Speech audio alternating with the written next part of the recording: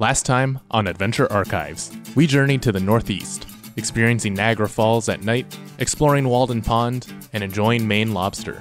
We hiked around Acadia National Park and canoed Baxter State Park. Today, we continue our road trip journey, waking up at 4:30 in the morning to drive to the trailhead of Mount Katahdin. Now, the crew would be splitting up, exploring lakes and forests and Rocky Mountain peaks. Join us for the conclusion to our journey through New England.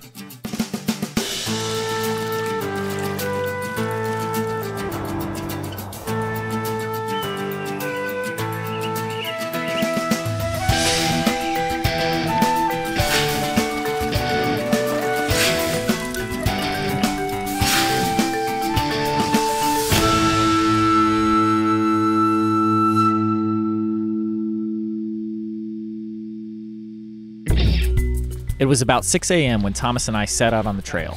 We're gonna take the Helon Taylor Trail. Let's do it. Before getting started, we had to sign in at the ranger station, and we checked some information about the trail. Okay, the weather today mostly cloudy to clear, high 69.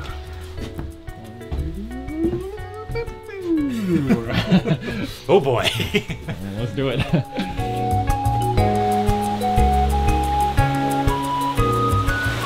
what a roaring brook!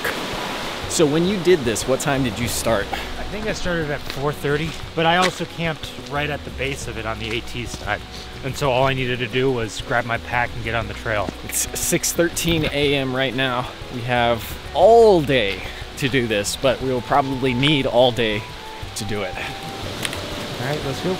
Almost immediately, the upward climb began. Through the forest canopy, we could see the morning sun peeking through. It feels like we're making good progress so far. How does this compare to the way that you went up? So far, pretty comparable. I honestly expected it to be a little bit more uh, smoother grade, but no, I'm still climbing up boulders here. Yeah, this is.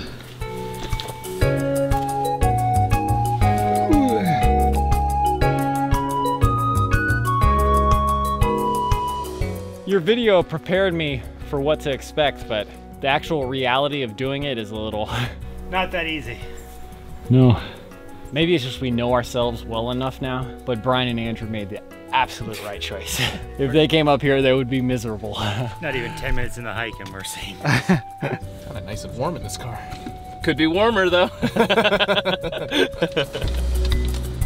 Okay, so the office is not open yet, so we're just gonna wait here and get the keys once it's open for the canoes. In the meantime, I'm gonna take a nap. While we napped, waiting for the ranger station to open, the others kept trudging away. Thankfully, the steep boulder scramble had gradually turned into an easier hike for the time being. While the trail really did flatten out substantially. This is quite nice right now. Even though it flattened out, it's not like that height has gone anywhere. We're just, it's just saving it for the end. Okay, I'm gonna ask you a question.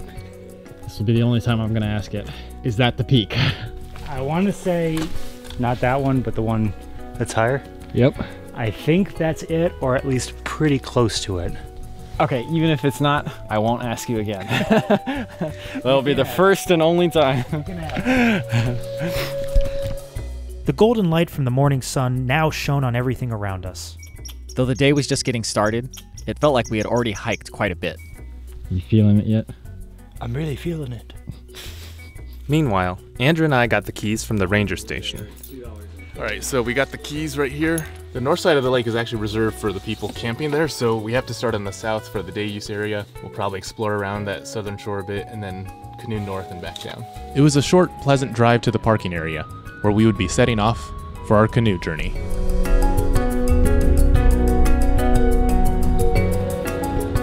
But once we reached the parking area, You ready?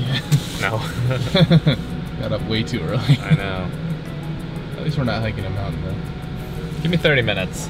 I'm gonna let the car. Just 30 minutes.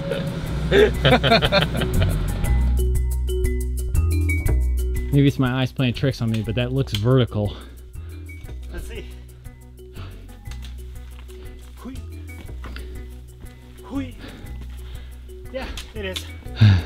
is just straight up. Throughout the hike, there were areas where the trail faded away into a vertical scramble up the piles of boulders. But the views at the top of each scramble were well worth the effort.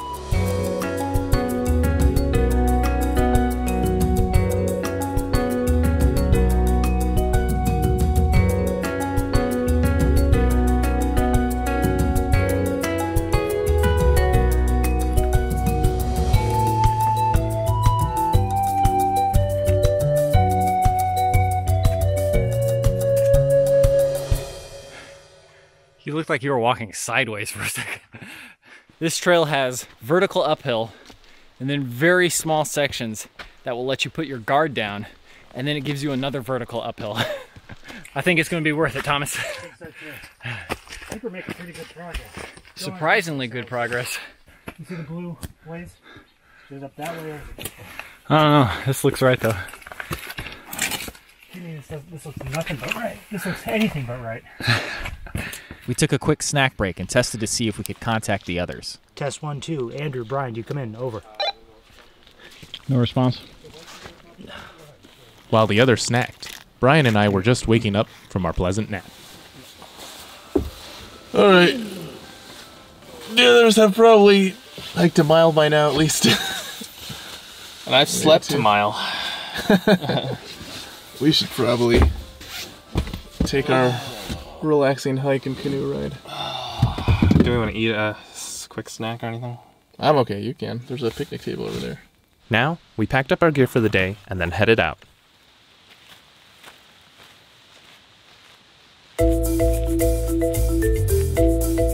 It was a cool, calm morning, perfect for a pleasant hike through the forest, even with a lack of sleep. How are you feeling right now? Tired. I'm sure that'll eventually just wear off. Getting up at 4:30 a.m. is not the best thing in the world. it's such a nice day right now. Yeah. It's like so cool and brisk and sunny.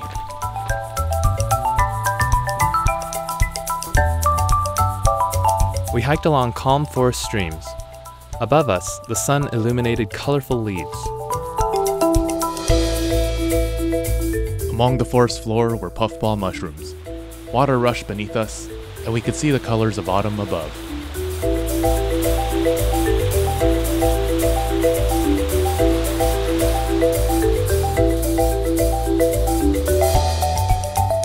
The only time I've been on a trail that was this vertical was uh, when Daryl and I hiked Mount Tengu. Similar view too. Oh, that's Katahdin Lake right there. That's where the guys have to hike to. They'll be canoeing all around that. It's like a sea of clouds out there. The mountain views were incredible, especially in the bright sunlight. But ahead of us, we had more steep rocky scrambles to face.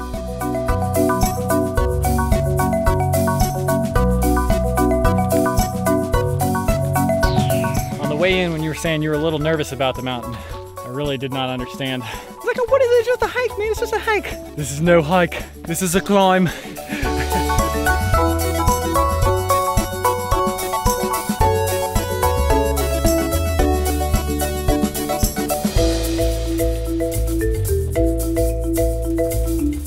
This is actually vertical. This is straightforward. Hey. I'll be right up. In the distance, I saw what I thought might have been the peak of Katahdin. I'm not gonna ask, but I will point. Look over there. Yeah. I can't see much behind those clouds. I mean, look how fast those clouds are moving over them. Wow. kind of want to hurry. I, I want to experience the clouds while we're up there. Okay. Let's go.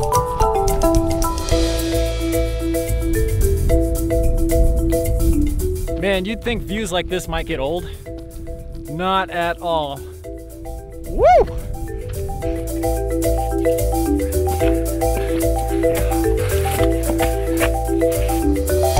We now hiked past the tree line and could see others hiking along the rocky slopes in the distance. Up here, the environment was dramatically different. All right, so we're not quite in the zone, but we're starting to see indications that we're coming into the tundra zone.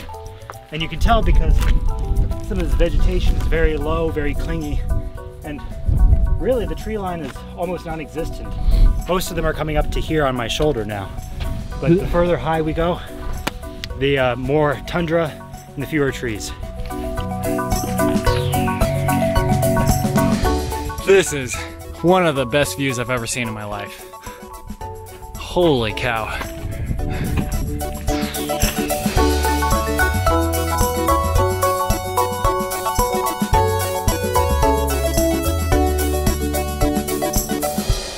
With the view having opened up substantially, we surveyed the distance we had covered so far to see if we could spot our starting point. So if we're looking at this map, that pond down there, that is Sandy Stream Pond. There's a pond right there. Yeah, I don't see that other pond on here though. Pond there. It's probably just somewhere in this vicinity. What's kind of encouraging is you see these three ponds right there. We can see them out that way. Oh, So we're probably like right around here. So Pamola or Pamela or whatever we want to call it, it's, it's granted steep, but still just up that way. I kind of hit a point now where I'm in a flow. It's kind of like you, you don't even think anymore. You've kind of retreated back into your brain and you just let your feet do the walking. Besides the change in environment, we also noticed a change in conditions.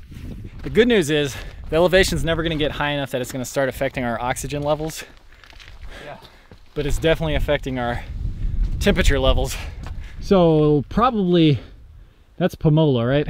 Probably. And then beyond that's got to be Baxter. Well, there's a cloud right there. Whis- wisping by us. We might be able to finally taste the clouds, Robbie. I wonder what they taste like. Cotton candy. Up here, the scenery looked barren and alien, but undeniably beautiful.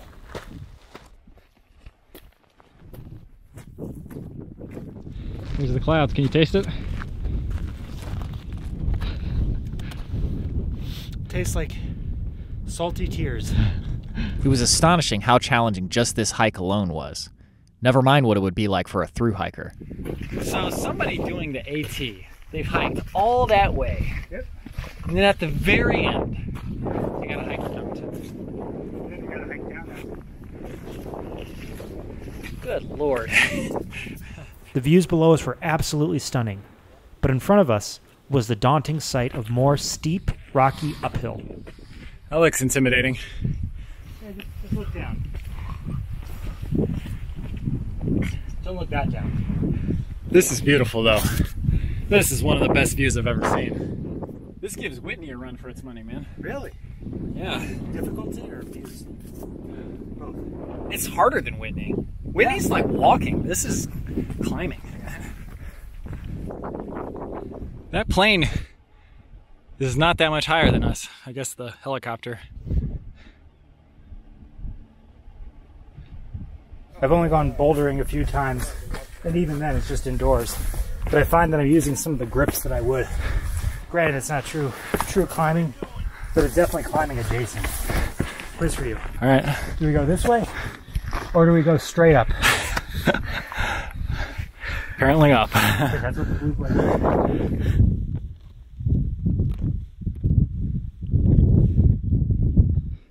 There is something to be said about trusting the blazes. You look at it and you're like, there's no way that's the best way. And then you get there and you're like, that wasn't that bad. It was pretty good.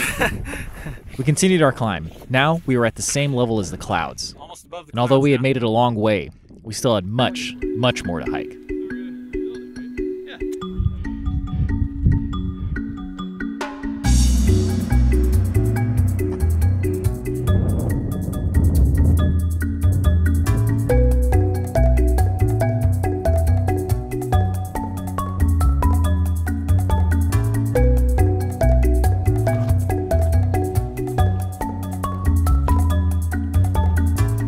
Becoming even funnier in retrospect that I was not worried about this mountain.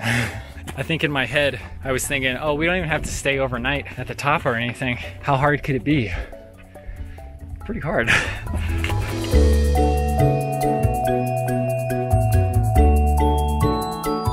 We kept climbing, getting closer and closer to Pamola Peak. I would say we're above the clouds now, right? Almost. So far, we've climbed 3,200 feet. We are very, very close to Pamola Peak, and then right after that, Chimney Peak. This is not a trail, this is just rocks.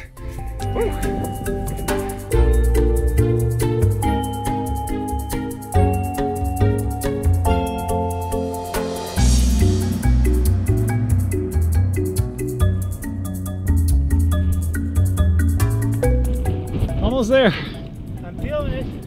I'm feeling it. It's satisfying to look across there and not have to look way too far up just to see that mountain. Yeah, pretty tough climb, but we're really happy we don't have to deal with elevation. I think the max height we're gonna get is like 4,000, and that is perfectly manageable. We had now reached Pamola Peak. Woo wee!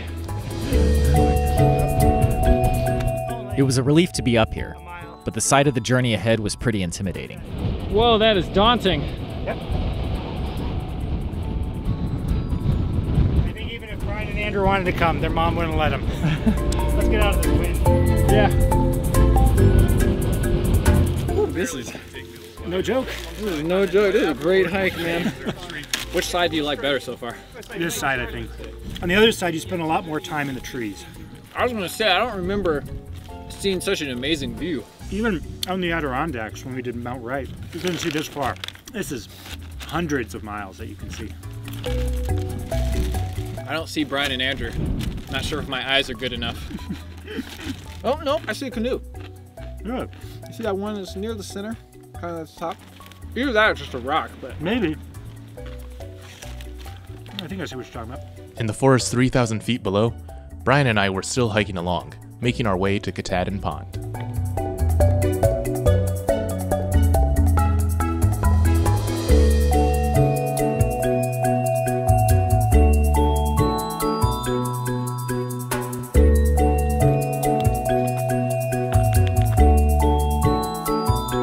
So far, it had been a peaceful walk in the park, especially in the fresh morning air.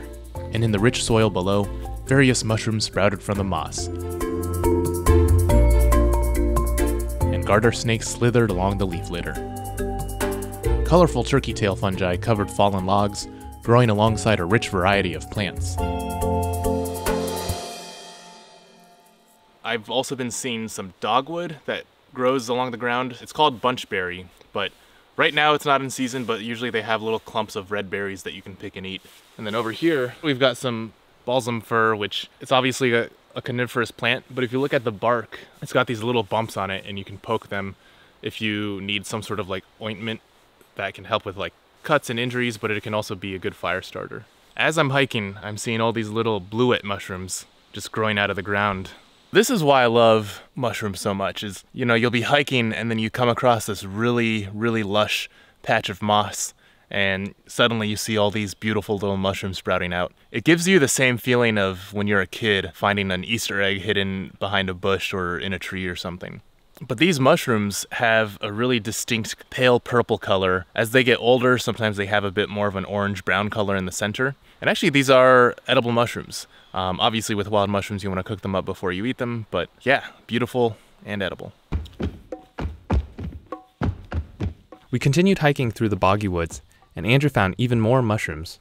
So down at the base of this tree is some sort of a coral fungus. It's got this really beautiful white color that just stands out against the brown of the forest floor. I'm not exactly sure what species it is, but it looks like it's got these smoother tips. One of the coral fungi species that I'm most familiar with is crown tip coral fungus, and the tops of those have these like five pointed crown shapes on them. Uh, and those are edible, but not every coral fungus is. So, so this plant here is called hobblebush, and I've been seeing this all over. Uh, a lot of it is still green, but sometimes you get these flashes of red. But this is in the genus Viburnum, a, a genus of like shrubs that a lot of people often grow in their yards. And viburnum actually means arrowwood because some of the bushes have straight branches that you can use for arrows, but it's really nice to see these colors popping in the forest.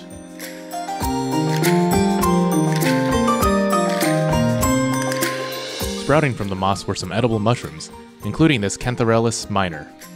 Okay, this is really exciting. This is actually a bolete called a porcini mushroom. I've heard these mushrooms sometimes called penny bun mushrooms because the top of it kind of has the coloration and the texture of a little baked bun that you might find. But also, these are choice edibles. That is pretty exciting to see. Along with the king bolete mushroom was a more common edible fungus. So these, of course, are pear-shaped puffballs. There are some really nice fresh ones growing on some of these logs. And then there's also some of these less fresh ones, which are ready to send their spores off. And if you hit them, there we go. But of course, the fresh ones are edible.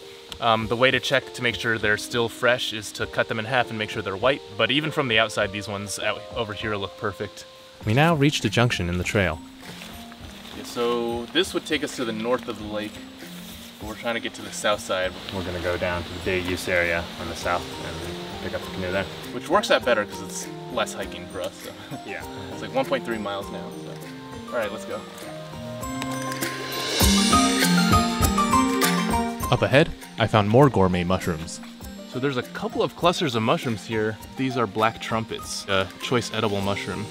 I mean, you can see it's got this darker color and this sort of trumpet shape, and it's got these ridges rather than gills, which is something you also see on chanterelle mushrooms, so they smell good. They smell a lot like chanterelles too, so that's really cool. I wish I had a basket and a way to cook all these mushrooms I'm finding today.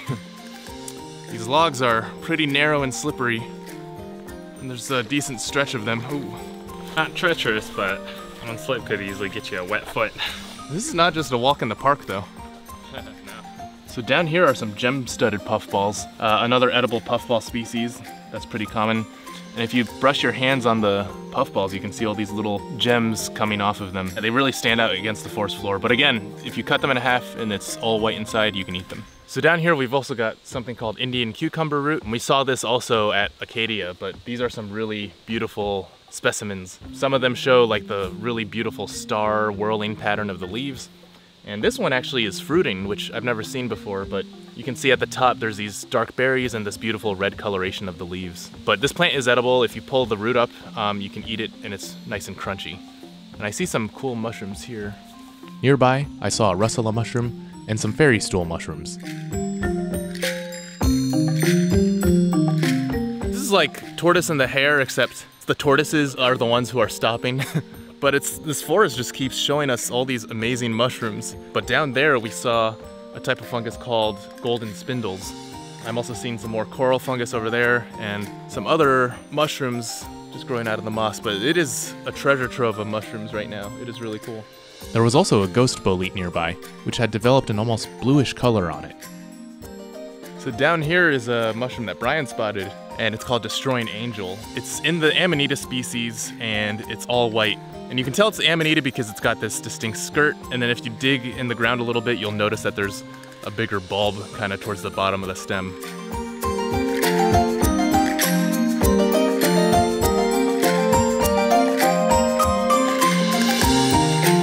Here's a question. Do you feel any semblance of regret that we are not hiking that mountain? No, not at all.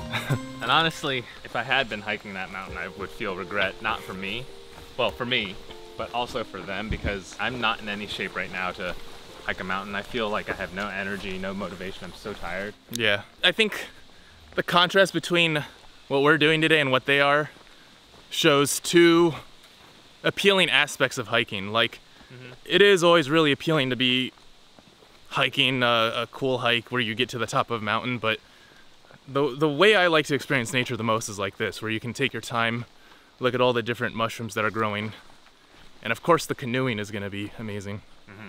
It's like that sort of still and calm nature experience. Yeah. There are definitely different ways to enjoy nature at Baxter State Park. The Trail to Katahdin definitely provided an extraordinary experience. The path ahead was just a jagged, rocky scramble down and up the mountain ridges. Woo! This is a little sketchy. You know, it's really funny, dude. We've climbed a lot of mountains. And I still have never really considered myself a mountain climber, you know? I think it's safe to call myself a mountain climber after doing this. this is this is what I've always pictured, like just on a knife edge, you know? You know it's serious when when you try and go 10 feet forward, you have to go 30 feet down. this is just, just crazy, man. Just stay there. I'm going to try and get down. Okay. I, I'll- I don't think the watch camera can capture this, but I want to see how. Okay. see if it shows you how far down you have to go. I'm six foot three, by the way. Oh, I'm Robbie. I want to go hike Mount Katahdin. Robbie, you know it's very tough. It's not going to be that tough. Two weeks later, I'm on my butt sliding down a mountain, trying not to die.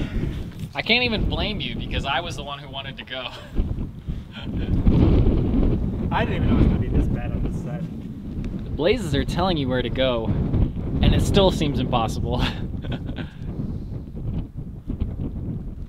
At the bottom was a calm stretch of flat ground and an amazing view. I see people up there. Oh wow, that's probably Baxter Peak right That there. is Baxter Peak, yeah. yeah. That seems so far away. Wow. College alone. I don't know, this might be the most beautiful hike I've ever been on. The view from atop the mountain ridge was utterly surreal. From here, we now had to climb to the next crest of the mountain. And it was quite literally a climb up slabs of vertical rock.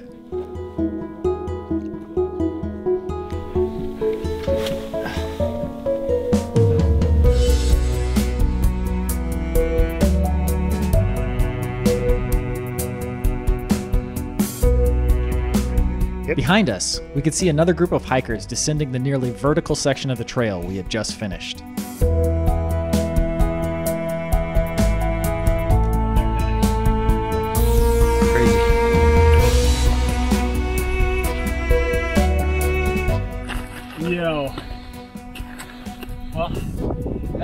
That worth risking our lives for.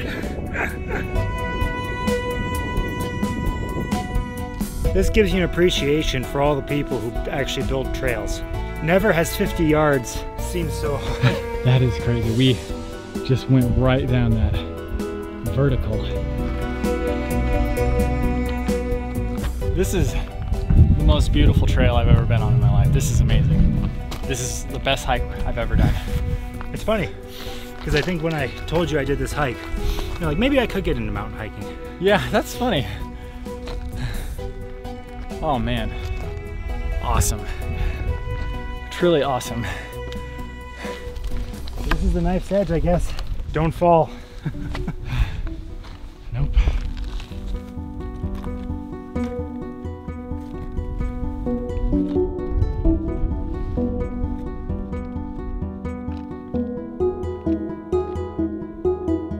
top of this crest, we took a moment to take in the view around us.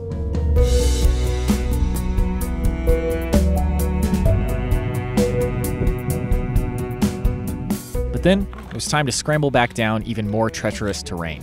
Probably the most terrified I've ever been from hiking right here. Just put your whole body against it. There you go. There you go. I'm thinking, and I'm just gonna slide. Oh. All right, there we go.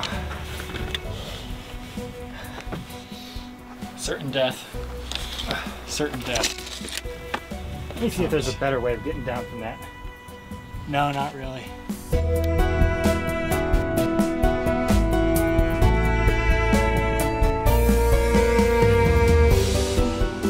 Yeah, you're good. Pretty much there. There, you're you're level. Ahead of us was more seemingly endless scrambling and climbing. Having to navigate the rocky landscape meant we were traveling at a snail's pace.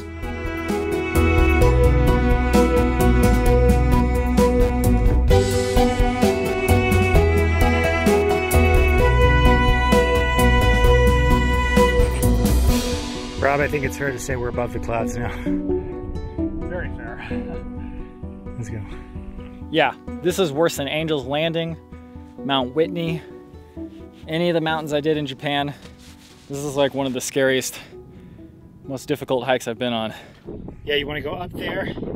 Uh, you- no, drop down a little bit. Yeah, right there. That's great. Up ahead, we ran into someone that we thought was finishing up an Appalachian Trail through hike. No, I uh, work for the trail crew here. Oh, awesome. Well, Yeah, but a bunch of guys are just finishing up back there. It's pretty awesome to see. oh, good for them. Yeah, it's spectacular.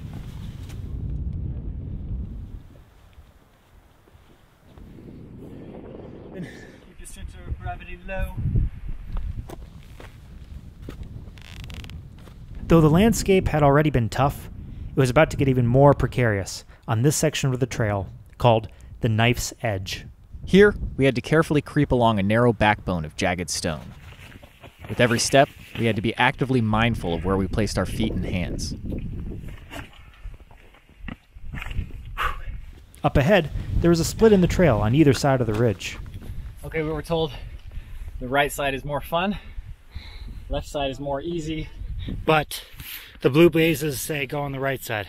We're gonna opt for the fun route. So, Robbie, why do you think this is a fun route? oh, If okay. like the feeling of near death, this is pretty fun. Hey, there's buildings down there. Really? That's nice. That's not too bad.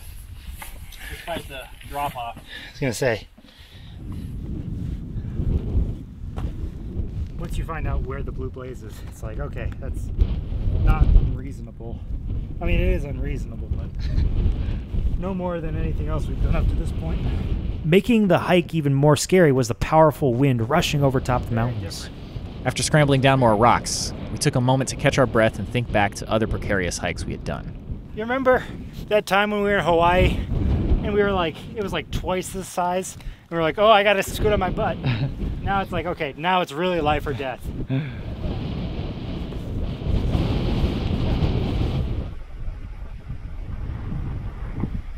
Absolutely nice edge right here. You did that a lot better than I did. It's actually really nice to have somebody in front of you. You see them do it and you see exactly. Up ahead, the terrain again changed slightly. This section is definitely a bit rockier than the other ones, but this is actually fairly traversable compared to what we have been doing.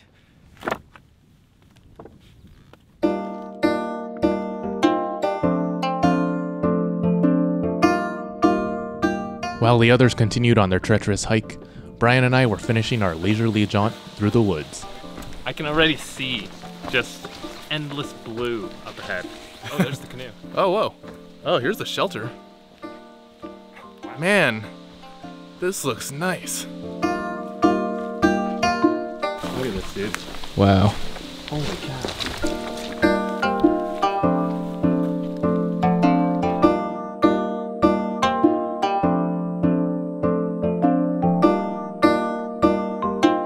We have like this whole lake to ourselves. Look, that's where they are right now, that mountain. I think, right? Sure. After inspecting the lake, we hiked to a nearby picnic area for lunch. Do you think that we could be two of ten people total that might be in this general area? if that, If that, yeah. I feel like the only people who would come out here besides us are people who are staying at the uh, the shelters anyway. When we first started this road trip, there was a slight part of me that was a little bit worried that I would feel like I missed out not doing the mountain climb. But actually, the more we've done this hike, the more I'm like, this is actually like we haven't even canoed yet, and this hike has already been really cool. Mm-hmm. I found all those mushrooms. It's just been like perfect weather and peacefulness, you know. Out of all the forests we've hiked, there's something about this one that really accentuates the isolated feeling. Yeah, yeah, yeah. You know, the funny thing is, they probably think we're like already on the lake by now. Mm-hmm. I don't know how far they are. I don't know. After our snack break, we hiked further down the trail where we saw another garter snake resting peacefully. We found our way to the canoes, excited to get out on the water. While Brian grabbed life jackets, I unlocked the canoes. We carried the canoes to the edge of the sandy shore and got in. After settling in, we pushed off, embarking on our canoe journey. Oh man, this is great. The lake itself was a thing of absolute peace, but there was also a nearby diversion that the ranger had told us about. He mentioned the wilderness camp back behind us, and then there's an island right here that would be worth checking out. Maybe we could head that direction, check out the wilderness camp first. As we coasted along the water surface, we talked with each other about our hike and paddling so far. If I had to do any convincing of myself that this was the right choice to make, I no longer have to now. Wow, I still can't imagine that we are in such a secluded place that at any given moment on this lake, there's probably just going to be a maximum of like two or three canoes. yeah. That's another thing is if you just listen like all you hear is the breeze and some birds. Also, right there is where Robbie and Thomas are going to be hiking right now. And we're just bumbling around on the water.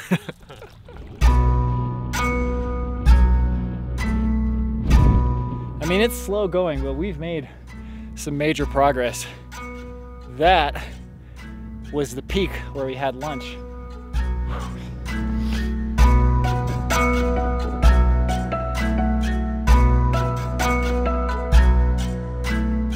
After a while, I think we've been on here for probably over an hour now. The fear of heights definitely diminishing as I just get used to it. So The fear of heights is like gone, but the disdain for this ridge is rising every second. You're like, I'm ready to get off of this. yeah, seriously. I, I think it's right there. I think we're pretty close. Yeah, You take the lead. My turn? All right. Let's go. We had been hiking along this ridge for so long, it started to feel like all we had ever done in life. As we hiked along, we tried to figure out where we were and how far along we had come. Can you pull out that map? I'm curious if this was Chimney Peak. No, the chimney was over there, where we were first on Pamola. Then the one immediately that we had to go down and back up, that was the chimney. Okay. This one here is South Peak. And then this one, that one up there is Baxter Peak. It's been a TED Talk brought to you on the top of Mount Katahdin. We now neared Baxter Peak, the top of Mount Katahdin. It was hard to imagine just how far we had hiked from the verdant valleys below.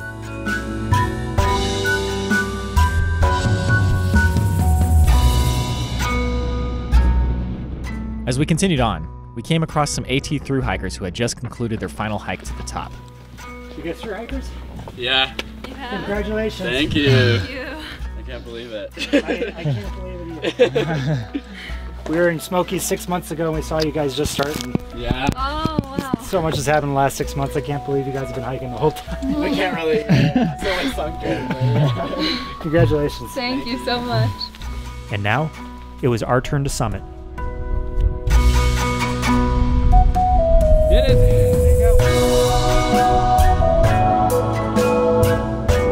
It's so different coming up this way and then looking at Knife's Edge and being like, I did that. Yeah, from a distance, it, doesn't really look like you can walk on it, but when you get right next to it, it's kind of traversable. Yeah. Well, most of it is. Yeah. It's like that 1% that's boot and scoot. Ooh, yeah, let's go have lunch. Yeah, let's do that.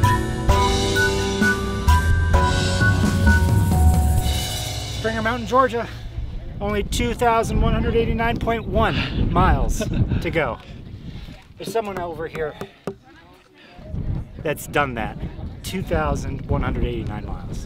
How high is this? 5,267? There you go. That's respectable. Yeah, only a third That's a Mount- respectable climb. almost a third of Mount Whitney. Finally, we had made it. The way back down looked much more inviting, but we still had a long hike ahead of us. Before that, it was time to have some lunch. Ah, here, you want me to feed you some pretzels? Real glad we're going down a flat path. Yeah. After the tabletop, Yeah, I'm sure it's gonna suck. It kinda after. gets- At least there's some reprieve. life sure is good. From up here, mountains that looked unpassable from the ground now seemed like mere molehills, and the vast blue lakes looked like tiny pockmarks on the Earth's green surface. As we canoed peacefully across one of those lakes, we decided to find our way to the shore once again. So we see something over there, and we were told there was like an old wilderness camp or something like that. I don't know if it's still in use, but it sounded like it was abandoned. What is that though? Is that like a. I can't tell what that is. Maybe it's a boat ramp that's like folded up. Yeah, let's go check it out. It looks like there's a sandy beach there too. There was something enticing about the mystery of distant objects on the shore, and the idea of exploring an abandoned camp.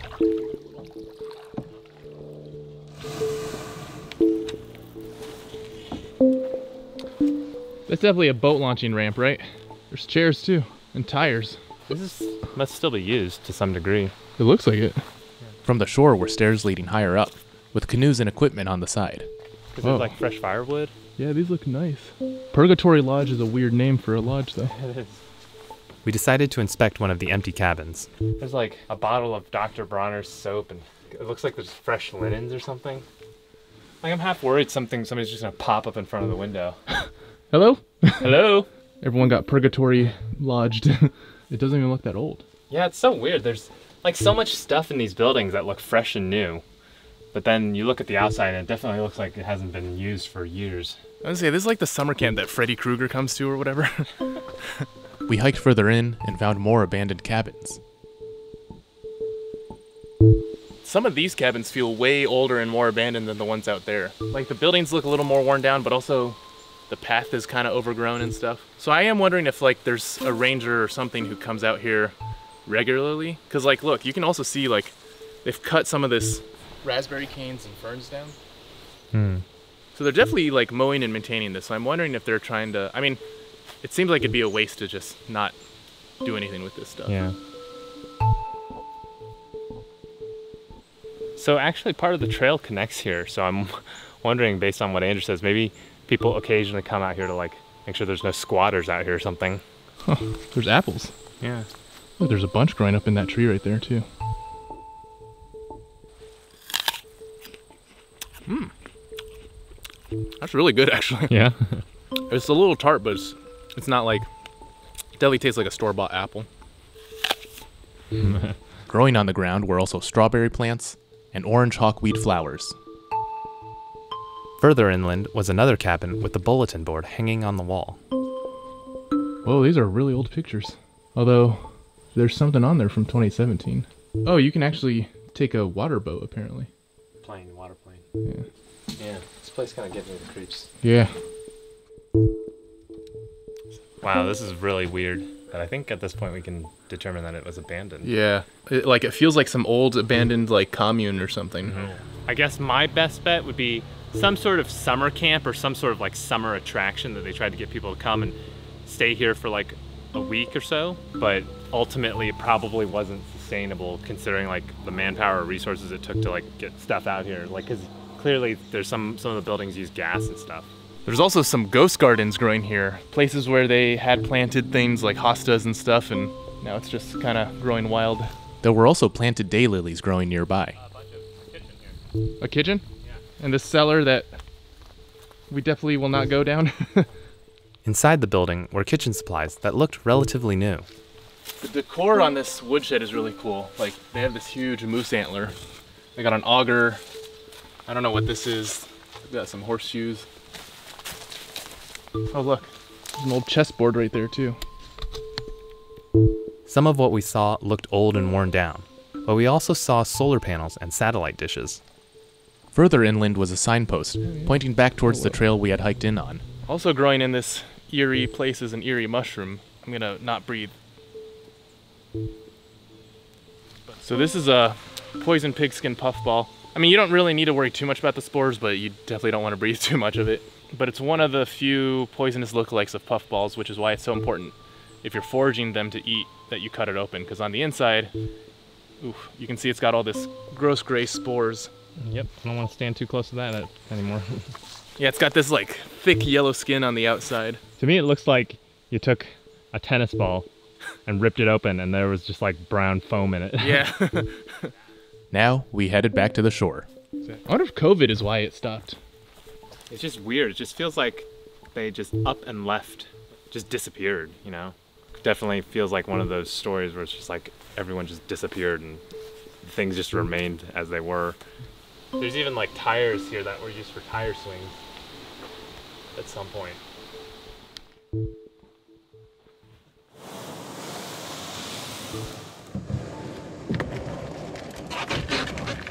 After exploring the camp, we got back in our canoe and pushed back out onto the smooth, cool waters. Yeah, that was super interesting. I wonder if it's worth checking out that island, but let's paddle around a little bit more first. It's crazy that we're the only people out here. like I'm looking all over the lake and I don't see even a single sign of another person out here. Just a gigantic entire lake to ourselves. Meanwhile, Thomas and I were preparing to make the climb down the top of Katahdin. Okay, you ready to get off this mountain and never come back? I want to say never, but give me another at least two years. the next portion of the trail was wide open, and the powerful wind rushed right over it.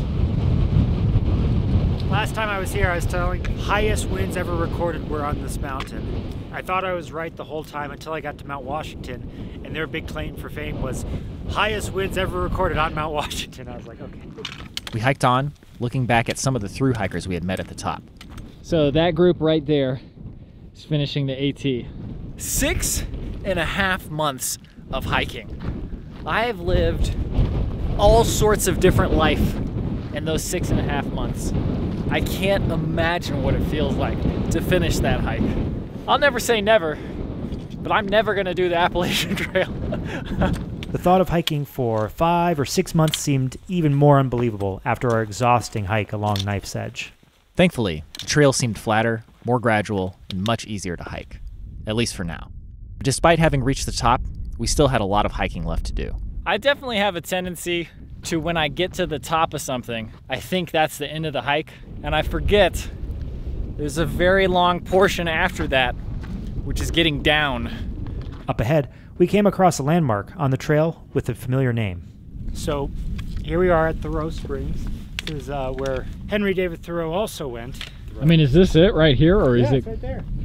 Got the plaque Oh. everything. Thoreau ascended Katahdin in 1846 and wrote The Maine Woods, one of the earliest authentic descriptions of the great forest regions of northern Maine. And now, we continued on.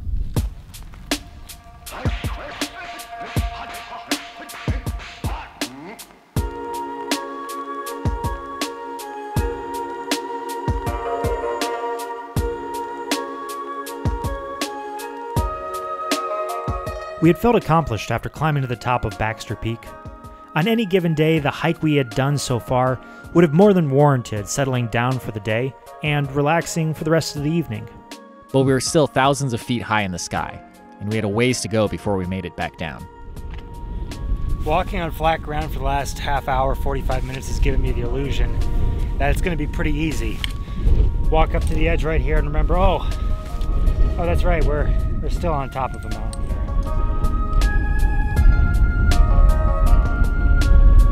You know a great thing about living in modern times is? We get to do this for fun.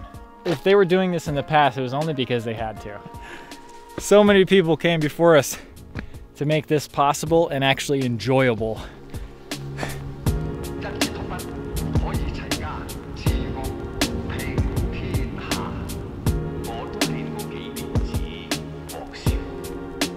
It was a long way back down to the tree line. As we hiked along this tundra esque landscape, Thomas was getting in the zone and picking up his pace. We are rapidly approaching the point where Thomas starts leaving everybody else in the dust. I gotta catch up. Incredibly difficult trail, but maybe the best views I've ever seen. Whoa! Before the major downhill began, we took a break. I'd love to join you. Take a nice reprieve before we kill ourselves going down this mountain. Oh man, this doesn't look fun. We looked out to find the pond we had canoed on the previous day. trying to figure out which one of those is kidney. Now I, I think it was that one. you think it, I can't tell if No, it's- no, it was that one. It was definitely that one. I could see the buildings. It's definitely not these two, the two closest to us. no.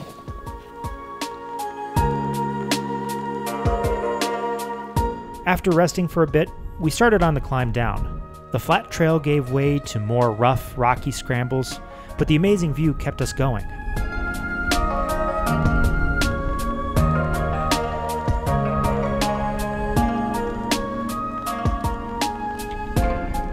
Were several large boulders to clamber down. Tell you, sound effects help. but there were also patches of easy, flat ground. That feels good. A little walking for a ways and then got around that corner and then into the forest.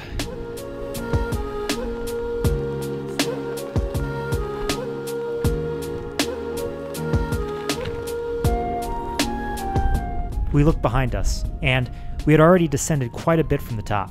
So, do people talk about this place as if it's a very difficult and awe inspiring mountain? Because I always thought it was just kind of, you know, the end of the Appalachian Trail and then that's what its claim to fame was. But just difficulty and beauty wise, this is off the scales. I've never heard anybody talk about this one specifically as far as that goes. I think it's just so inaccessible. I don't know too many people who live within driving distance of Maine where they're going to do this. It's nice now that we're coming off that crazy ridge up there. Starting to see some trees. They're only about knee high right now, but That's a very good sign. We just climbed. Started up top. We've hiked 8 hours and 46 minutes, 7.71 miles, 4,200 feet of elevation gain. I am fried, baked, boiled, broiled, cooked, sauteed, pan-seared. ah.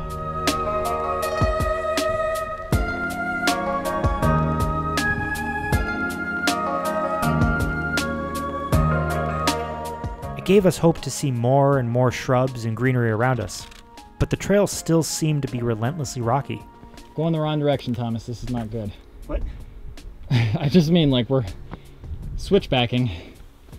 I want constant forward movement.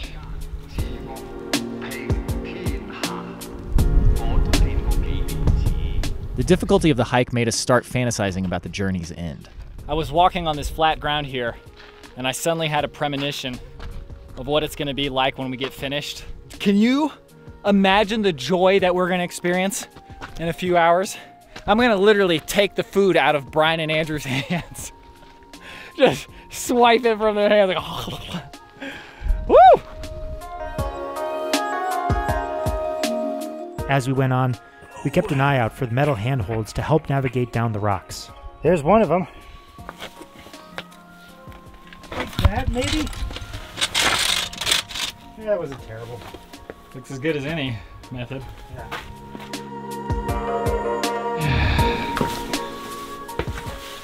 Thank you, Paul.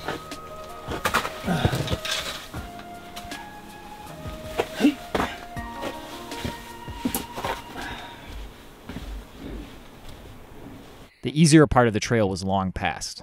Without the assistance of the metal handholds, we would basically have to rock climb up some of the boulders along the trail. While the others continued their climb down the mountain, Andrew and I explored more of the lake. I think even if we wanted to try and like get to one side of the lake, we wouldn't have time. Yeah. Unless we just literally did only that. Look at this view though. That is Yeah. incredible.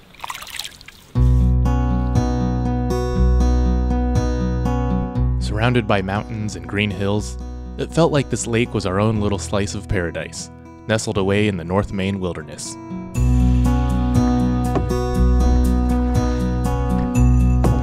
You know, the other thing is this weather is perfect right now. Yeah.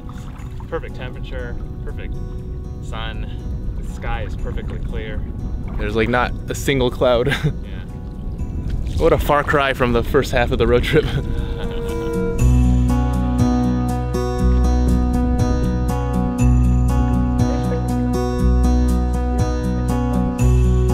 As we paddled along, we took in the sights of the green trees, Mount Katahdin in the distance, and the clear blue skies.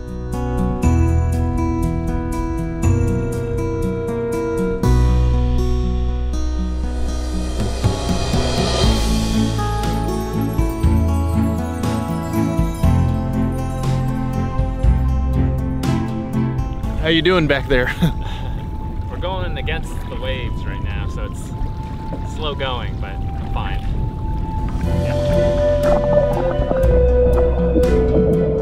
We started paddling around the island in the lake, trying to get a closer look at it.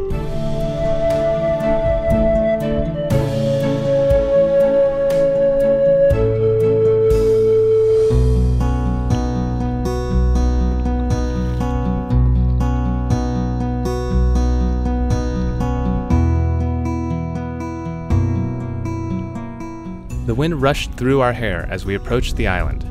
From our canoe, we could see patches of yellow green reeds poking out of the water amid large granite boulders. Though it was a peaceful day, the wind and the waves added a small challenge to steering the canoe. It's kind of amazing how much the wind affects the waviness of the water. And your ability to steer. Yeah. It's just, you constantly feel yourself drifting towards one way or another. As we circumnavigated the island, we saw pops of red leaves in the distant hills.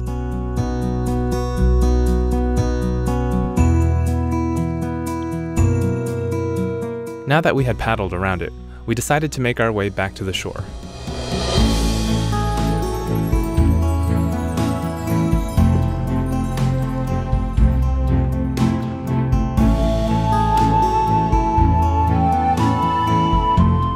It really was amazing how massive and vast this lake was.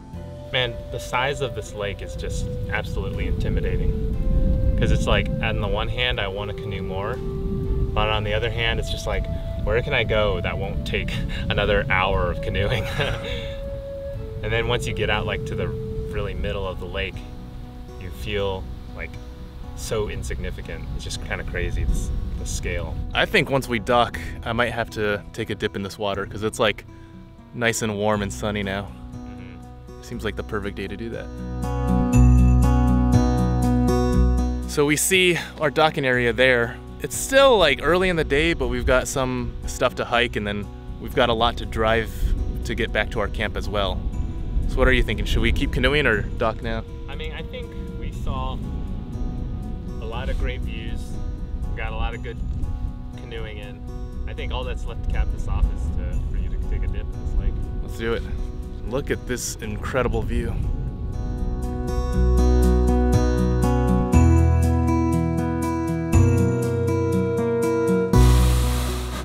Literally perfect. We were like three inches from where we came out from the canoe, I think. From where we launched the canoe. yeah, like I can see the skid mark. That's how easy it is to canoe in calm water.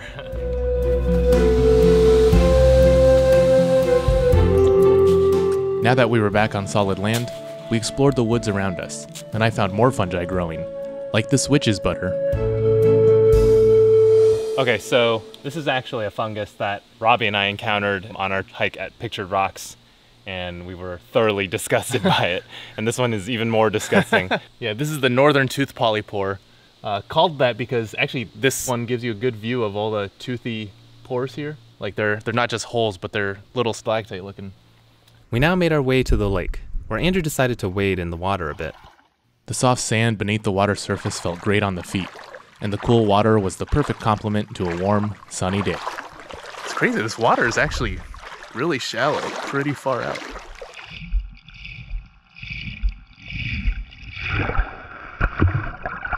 In the distance, we saw some loons diving for food. After enjoying the lake one last time, we started our hike back out. In the meantime, Thomas and I were trying to figure out how to get down this mountain. It- there's blazes there, but I don't. I guess that's it. I guess that's it. You got this? Is there something I can't see because that doesn't look possible? But Oh yeah, there's there's rocks here. Okay. Thomas, we made it. The tree line, baby. Almost. Navigating down these boulders had been tough, so we rewarded ourselves with a snack break and checked our progress so far. No, come on, that has to not be updated yet. We're still pretty far, but it goes by faster. Oh my god, we are so far, dude. That took so long. How long did you estimate this would take? 12 hours. Probably pretty accurate. We're at 923 right now. Now, we continued on through the trees. Oh, this is nice. Even if this is going to be short-lived, this is very nice. Cheers to uh, a not super hard hike. In all seriousness, though, that hike was nothing to sneeze at. Oh, that would be a rigorous hike for a normal day of adventure archives. Andrew and I now drove about an hour back to the campsite we would be staying at tonight, the Katahdin Stream Campground.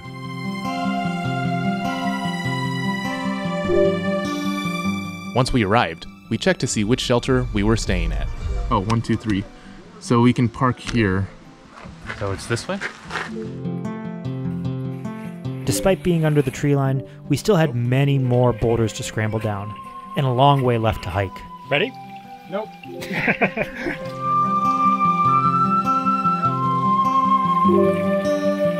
At this point, the trail seemed to go on endlessly, especially because we were exhausted from the hike so far. I don't think I can understate how interminable this section of the trail is. We have been doing what you're looking at on screen for like two hours. And it just keeps going.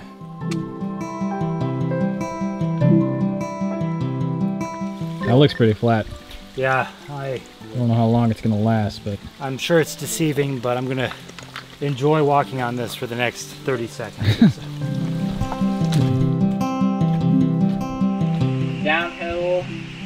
begins again.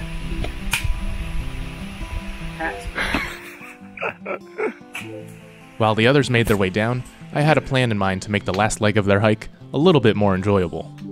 All right, so I'm gonna go to the car and grab a few things that I need, some cold drinks and some snacks, and deliver them to Robbie and Thomas. It's funny because I have no idea where they are on the trail. They could be like still two hours away. It's hard to say, honestly. Either way, I'm gonna search for them, but we will see how it goes.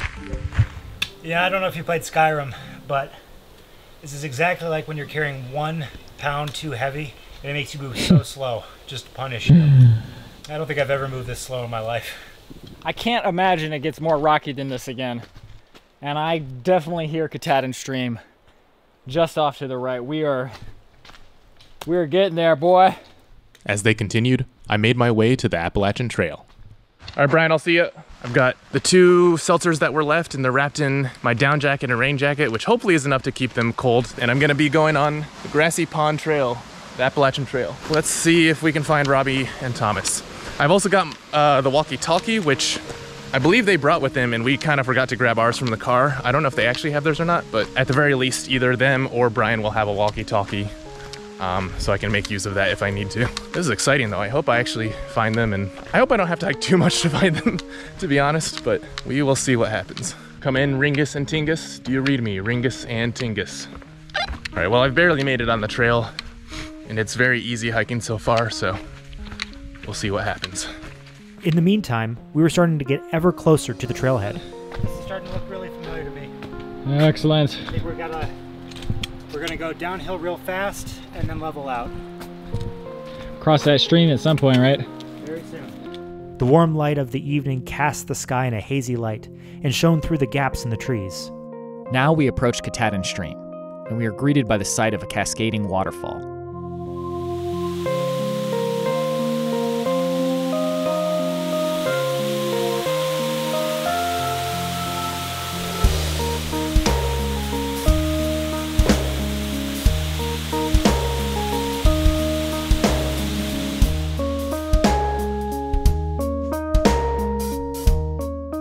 While the others continued down, I realized I had made a mistake in my plans. So, in my extreme haste, I kind of realized I actually started going the wrong way on the Appalachian Trail because it was just right there next to our parking lot.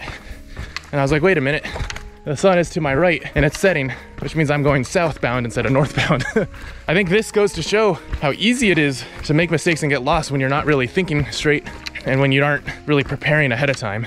Glad I didn't hike too far in before I realized it. Should just be like a couple minutes before I get back to the trailhead.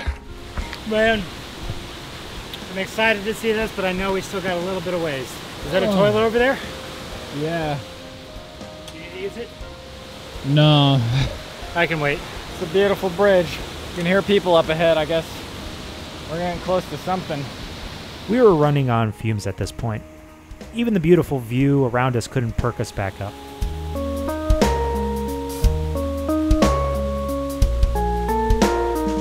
Now that, this is the correct way. What a fool I am, but you know what? I'm still alive, so who cares? Let's go. How much? 1.1.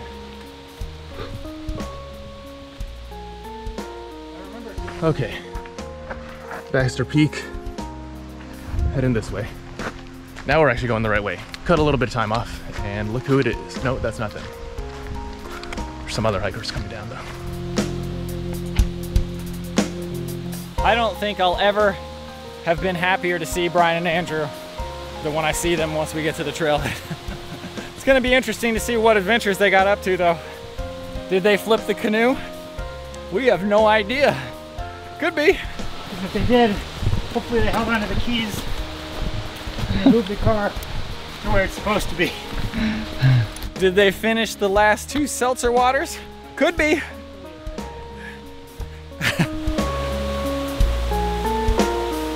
The one thing that I'm paranoid about now is that as I was going the wrong way and coming back, I didn't stop by the shelter. No, I'm paranoid like we just missed each other and they're gonna go searching for me or something like that. But I think that's just paranoia talking. I was only gone like, I don't know, 20 minutes I'd say. It's funny because every shadow that I see, I kind of, oh, hey!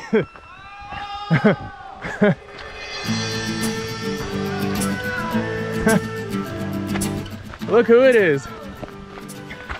You guys are very close. Yeah. I've only been on the trail for 30 minutes and 20 of that was me going the wrong direction without realizing it. Bar none, no questions asked. Oh my the God. most difficult hike they've ever done. Wow. Kumatori. Kumatori, piece of garbage. Mount LeConte, garbage. Hawaii, garbage. Other Japan hike, garbage. Everything we've ever done is garbage. I mean, not looks wise, but difficulty wise.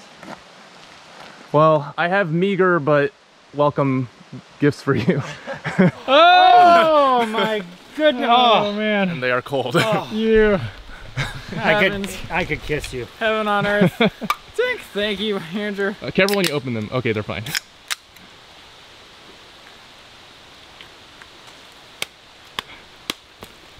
Woo!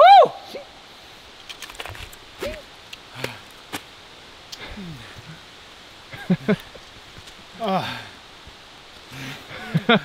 I thought I knew what living was. you knew, I didn't know what living was until I was dying. Andrew. I owe you such an apology for every time I've ever said anything wrong about you. Even coming down, we were like, those two better not have drank those seltzer waters. Let's Oh, go. man. I, All right. I, they gotta Yeah, get off let's this go. You guys ready? Yeah, let's go. How was the, uh, It was nothing. we took a nap until. I didn't even canoe. Brian canoed the whole time. It's like the normal amount of physical exertion we'd have among all four of us, we split where it was just all me and Thomas Yeah. and nothing for you guys. Thing, There's dude. this part called called uh, Knife's Edge. oh yeah. We kept saying, "There's no way in hell your mom would let us take you." on." Your mom would kill us if we took you guys up there, Yeah. and she'd kill us that we went up there. Sign out and never come back. Is this a one and done kind of hike? You Uh, if ever- you ever want to do it again, I'll do it with you. Did you guys have enough food? Yeah, Oh, okay. we just ate a bunch of garbage. Let's go back to camp and eat some more garbage. oh man, this is great, dude. Welcome back to the land of the living. You're like the guide who meets people after crossing the river Styx. I see someone else fell off Katahdin. I'll take you to the afterlife. Now, I led the others to our walk in lean to site, where someone had already made themselves comfortable.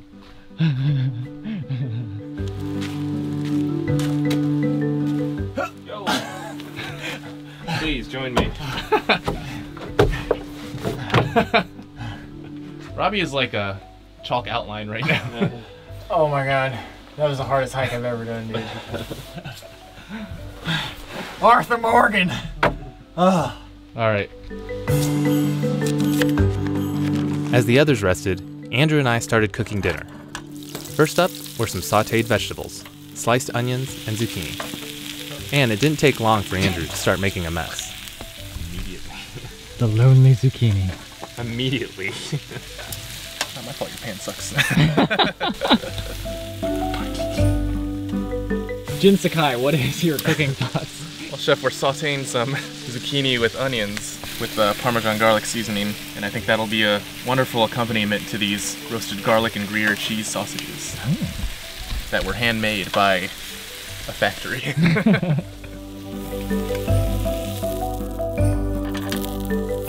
As the sausages cooked, I took some time to try and rejuvenate myself. How's that face washing go? It's not good.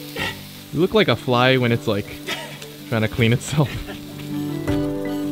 And now, it was time to eat. Ching, ching, ching, ching. Sink it. Thank you so much, guys. Mm-hmm.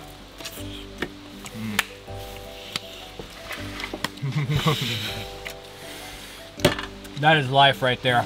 That is sustenance, flavor, joy. Oh my god. So, should we drive into town? Get some cold drinks? Tonight, Oh. I think if we're gonna go into town, let's grab a hotel. I'm only half kidding. I would find this an acceptable outcome, but I would drive. I will drive us. I am. I down. was totally joking. But now that the possibility has been raised, Hotel Archives is a popular version of our show. well, I'm gonna cook more either way.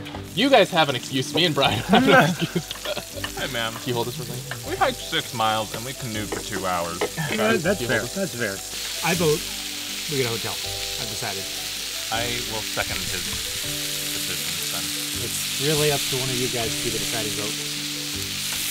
I don't want that responsibility. I think someone who hiked Katahdin should have that say. You're not gonna get a dissenting opinion from me. Let's do it. All right. Before making a final decision about the hotel, it was time for round two of dinner. Mm. Wow, very, very seasoned this time. It's all the, the juices in the pan coming together. Yeah. I think the pound of butter that cooked everything in is really helping too. Yeah, Robbie, I feel like if it weren't for this filming of this, and weren't for your constantly talking about it, I would forget how terrible this hike was. I cannot believe how hard that hike is. It's funny because it's on the Appalachian Trail, but it's like only five miles.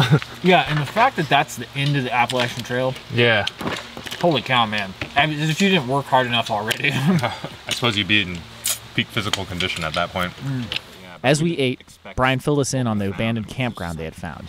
It's just so weird because it, it, it seemed like people had literally just upped and left the place and hadn't bothered like moving stuff out. Wonder what 'Cause the of- story behind that is. Yeah. Because we looked inside that Purgatory Lodge later, and you could literally see like clean sheets on like beds. Weird. It was so weird. It was definitely like out of Lost. Yeah, it was. The others, yeah, some barefoot people come out. I was like really worried like some hobo squatter would like start chasing us around or something. Next on the menu, Andrew was going to cook up some puffballs. So far, so good. Nice and white on the inside. Yeah, they look perfect. Wow. First, we taste tested the puffballs on their own. Mmm, juicier than I imagined. And actually, the butter it wasn't too strong. It's very nice mushroom flavor. Wow, not bad. I've had these a few times. The one time I had them on Adventure Archives, though, they were boiled. Much better this way. You're right, though. It is a lot like juicier than I thought it would be. Next, we decided to make a mushroom omelet. I'm gonna try to do a pseudo Gordon Ramsay. on the pan, off it, on the stove, off. This is like Adventure Archives realized. You know what I'm saying? This is this is the dream of Adventure Archives. This is the platonic ideal of Adventure Archives. How is it? Wonderful. I think Thomas and Brian already went to the hotel. yeah, that's what I'm thinking. Where are they? this tastes like spaghetti because of the Parmesan seasoning. Mm, okay. Well, no, mhm. Well, good work. good work, Chef Sakai. Came out of my mouth. I just put that right back in. At Thomas's behest, the others cleaned up the campsite while I finished the eggs. Robbie, you've done a complete 180. Whereas I've only gone further deeper into my despair. Life is worth living. We now packed up the rest of our things and headed back to the car. After that mountain hike, I was dead set on the comfort of a hotel. You know, it is a road trip, so hotels are are justified. I have no qualms whatsoever about what we're doing. No, I don't either. I Yeah. feel disgusting right now. I do, but I got outvoted.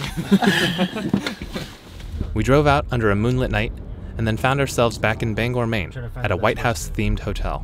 But the comfort of the hotel also meant we had stayed in the car another two hours driving. Do we regret our decision? No.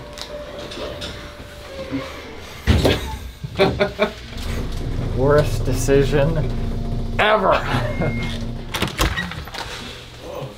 this is what you get when Thomas pays for the hotel. Is your urge to kill rising or falling right now? It's slowly falling. See how I'm doing after a shower and a nice sleep. Thomas may live till morning yet.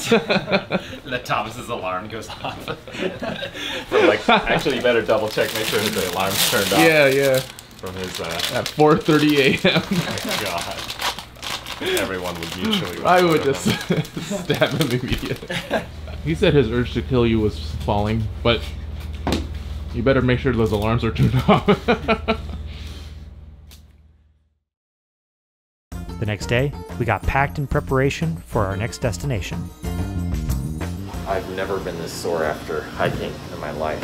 And my arms, my arms have never been sore after hiking. before heading out, we of course had to check out the complimentary hotel breakfast. There was cereal, potatoes, sausages, waffles, and more.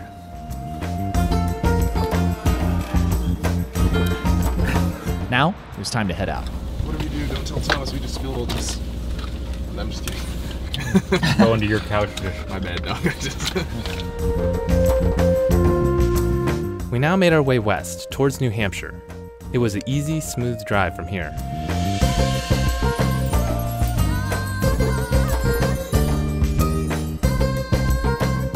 But occasionally, our otherwise easy drive was stalled a bit. Stuck behind a very slow driver here. As we continued, we took in the scenery around us. We drove through more New England towns, then passed over the Androscoggin River.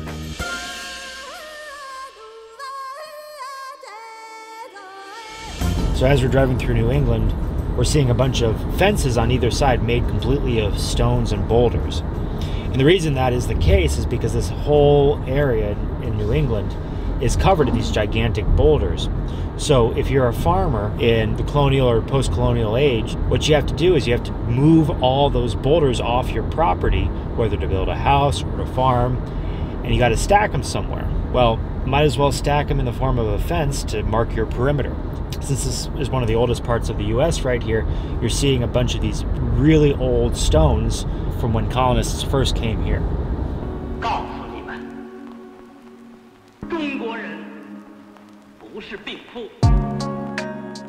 We drove past endless verdant landscapes, old overgrown farmhouses, distant hills covered in trees, and beautiful lakes.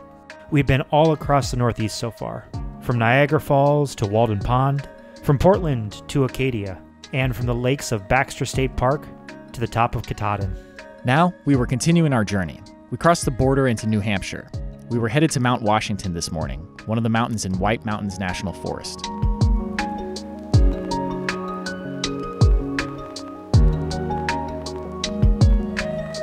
Today, we would be driving to the top of the mountain to save Robbie and Thomas from destroying their legs. And as per usual, Thomas would be the one taking the wheel.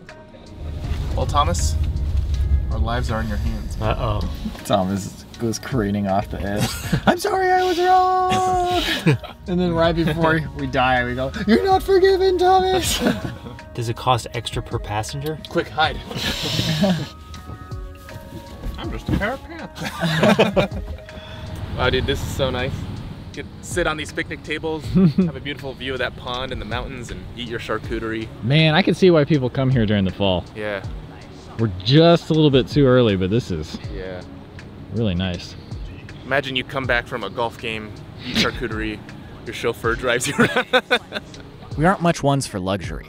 Driving up a mountain after staying in a hotel is about as good as it gets with us. I, I, visited I, I also, Washington. I also got that bumper sticker last time too. All right, this is going on my car then. Driving down instruction says to drive down in lowest gear.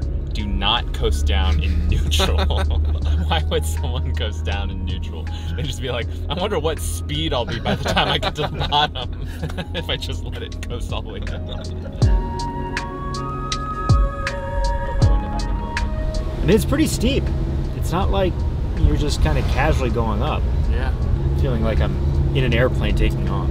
Before I visited the Northeast in New England, I would never have thought of it as like a super mountains region. Like New Hampshire or Vermont, I just think of rolling hills with like trees and stuff, but never these huge giant Rocky Mountains. Yeah, these are the real Rocky Mountains. So what's interesting is when we were down at the bottom, most everything was still green. You had some trees changing colors, but as we go higher, you start to see more trees changing colors. North. As we drove higher, we were treated to dramatic views of distant mountains, and we saw more flashes of leaves that had turned yellow. We're very high up.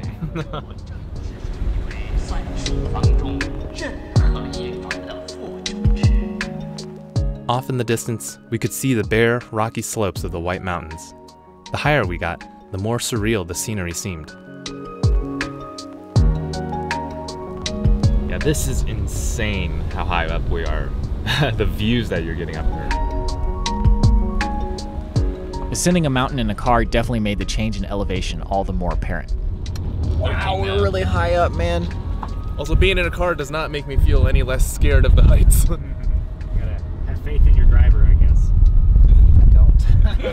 no, I'm just kidding. I have faith in you, Thomas. I have all the faith in you.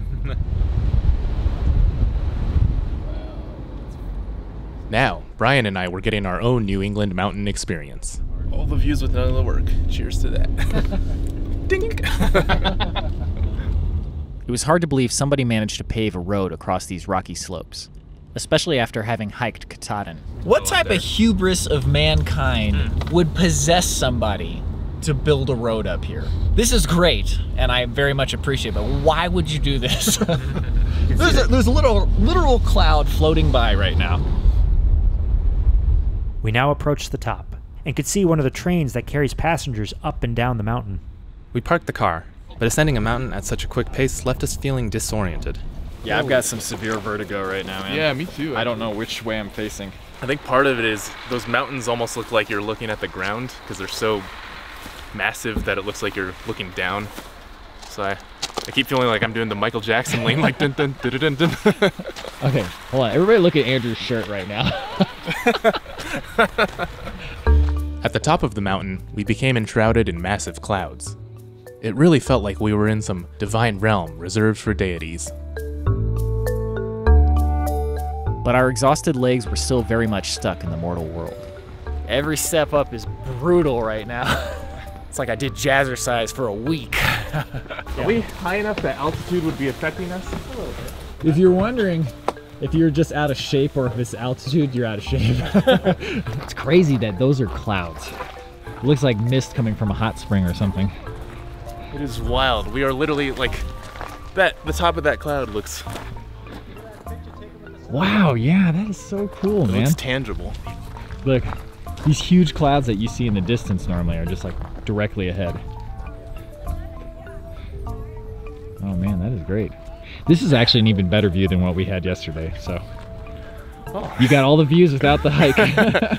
I hiked with those stairs.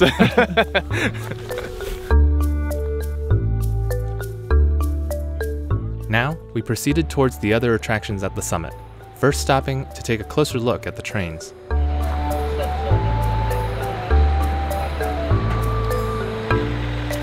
We had originally planned to take the train up and down the mountain, but with what we had planned later in the day, we ended up not having time for it. you want to train down? right now, it looks appealing. But when I saw those rails earlier, I was like, I don't know, man. Yeah, that looks pretty steep going down there. Like the train already is tilted very like steeply, and the only thing stopping it is those brakes. No, you guys are perfect. I got you in the shot. Now, we headed towards the visitor center. So they've got a museum, they've got a restaurant, a gift shop, everything. I'd say if you're really into history and really into weather, then go check out the museum. I'd say if you- the weather.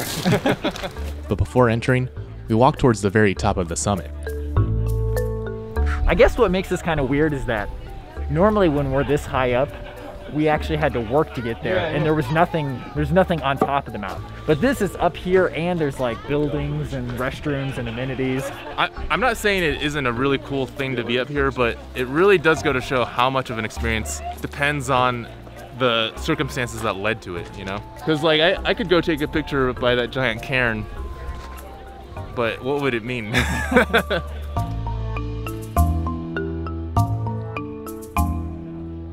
Towards the back was a deck that overlooked the hiking trail and railroad that led to the top. So this is the one that our viewers have been requesting. This is the presidential traverse.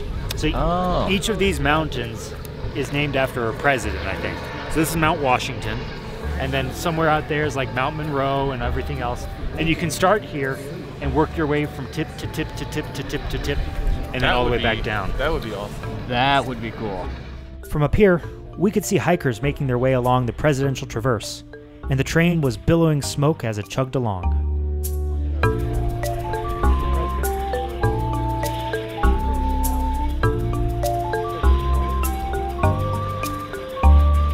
Now we entered the visitor center, which seemed to emphasize the mountain's danger. There's a list of casualties here. Wow, that was really recent. August 14th, 2021. Funny, there's a legitimate US post office up here. Somebody's got to deliver mail up here apparently. In the basement was a museum, which talked more about the dangers of alpine weather. We also saw displays of animals like this bobcat, and Andrew recognized some plants. Look right here. Oh. Common woods favorite. We've got all the elements of a normal hike now. Without Yeah. any of the work. On a nearby map, Thomas pointed out that the Presidential Traverse was also part of the Appalachian Trail. Right here. So you start over at Pinkham Notch. You work your way up along this side here, going all the way to Mount Washington, and you work your way back down, but this way down the ridge there. Back outside, we again admired the surreal view in front of us. Like it's so interesting to see these clouds right in front of us moving, but then behind them you can just see the clouds in the distance, like at eye level. Yeah, just so not cool. moving. Now, we headed back to the car. Oh, just coming down those stairs, my legs, dude. You guys made the right choice. just, just come up, drive up the mountain, man. And some of that trail doesn't look nearly as bad as what it sounds like you guys did. Like, there's an actual trail. Yeah. from What I've seen. I don't know. One day we'll find out. We'll do this mountain. Yeah, agreed. You're like, sure, yeah, we'll climb this one day. no comment from Brian. We made our cautious descent down the mountain and took in more of the scenery all the while. You can actually see the place we started out the window, and it is very, very small compared to us. You see that? So far, we're pretty lucky. It's supposed to be raining right now, but no rain yet. Definitely some clouds to keep an eye on, though. With how nice and sunny the weather was right now, it was hard to imagine we'd see more rain. But after we descended the mountains, filled up on gas, and continued driving, we ran into a wall of thick clouds and bursts of rain.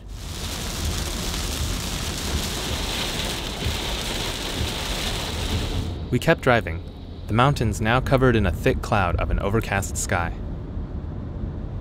Eventually, we arrived at our destination, the parking lot of the Lonesome Lake Trailhead, where we would be hiking to a mountain hut. I think all three of us just fell asleep in the last 20 minutes. It was bizarre. I don't know what spell fell over you guys, but it hit you all at once.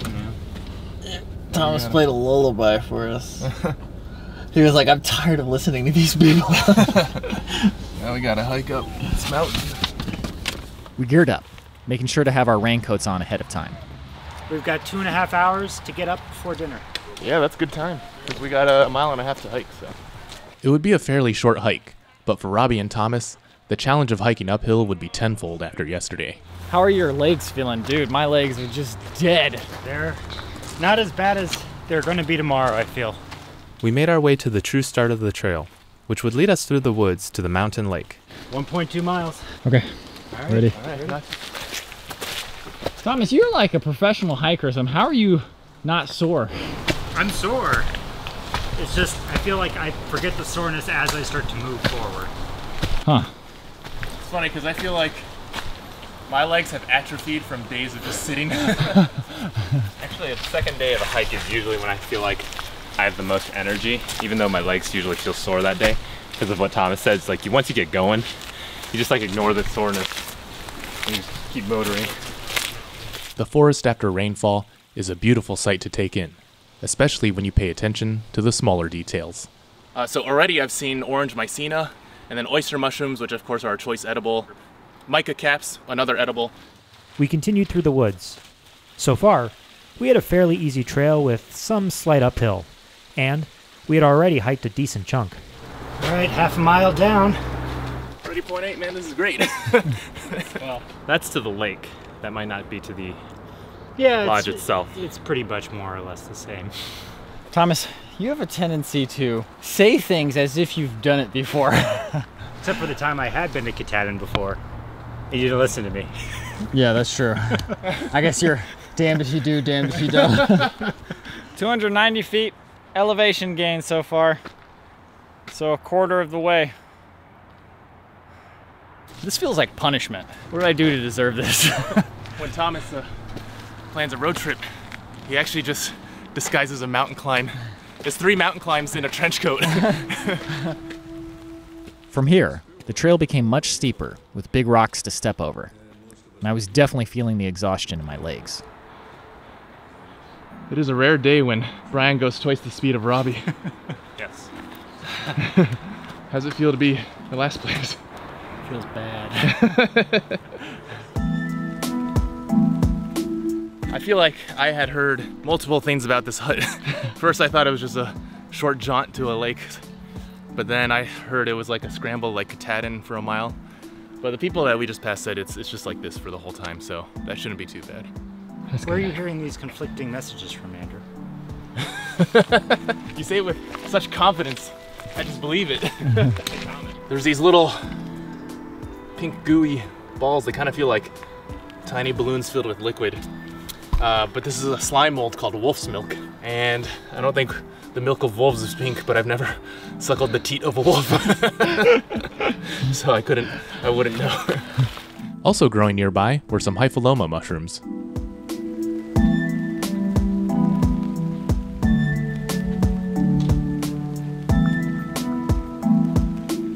736 feet so far, elevation gain. Looks like it's gonna stop pretty soon and then it'll flatten out. Yeah. We can start to see the uh, the break in the trees up there, so I think it can't be that far from now. I have every bodily need right now. Both bathrooms, sleep, and eating. All at the same time. It's an interesting experience. So I know we've been on the road for better part of a week now, but we're still kind of backpacking in New Hampshire, and that's the first for us. You know, yeah, we've done a little bit of the Adirondacks and we did Maine the other day, but this is an entirely new state. Less than a week ago, I was just snoozing in Ohio. I have a secret shame that I could not list the states in the Northeast. I could do Maine and probably New York. And the rest of the states like Vermont, New Hampshire, Delaware. Rhode Island. I forget that that one exists.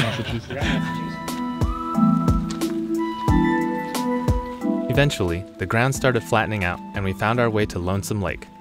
All at once, the weather changed and rain started coming down. That literally turned on like a switch. yeah, that's crazy. You know, I'm already so wet from the sweat, it's almost not worth it. Well, at least we're close. 0.4 miles. Oh, that's not as close as I'd hoped. Yeah. You know, the good thing about this is, even though we're probably gonna end up soaked, we have a nice big hut to go to. Because we'll just have space to like spread out and dry off and stuff. wow, this awesome lake.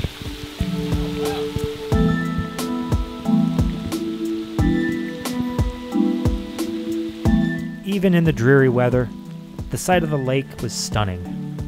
In a way, the haze and clouds added to the scenery, giving it a mysterious feeling. Whoa, this is beautiful. Look at this, man.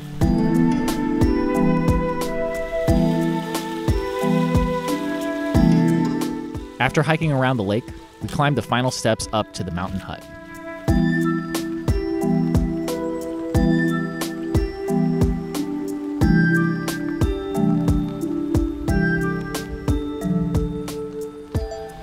I'm looking forward to this. Oh man, this is nice. Smell that, Robbie? I do. There's food cooking. Woo, this is great. Wow. That's cool.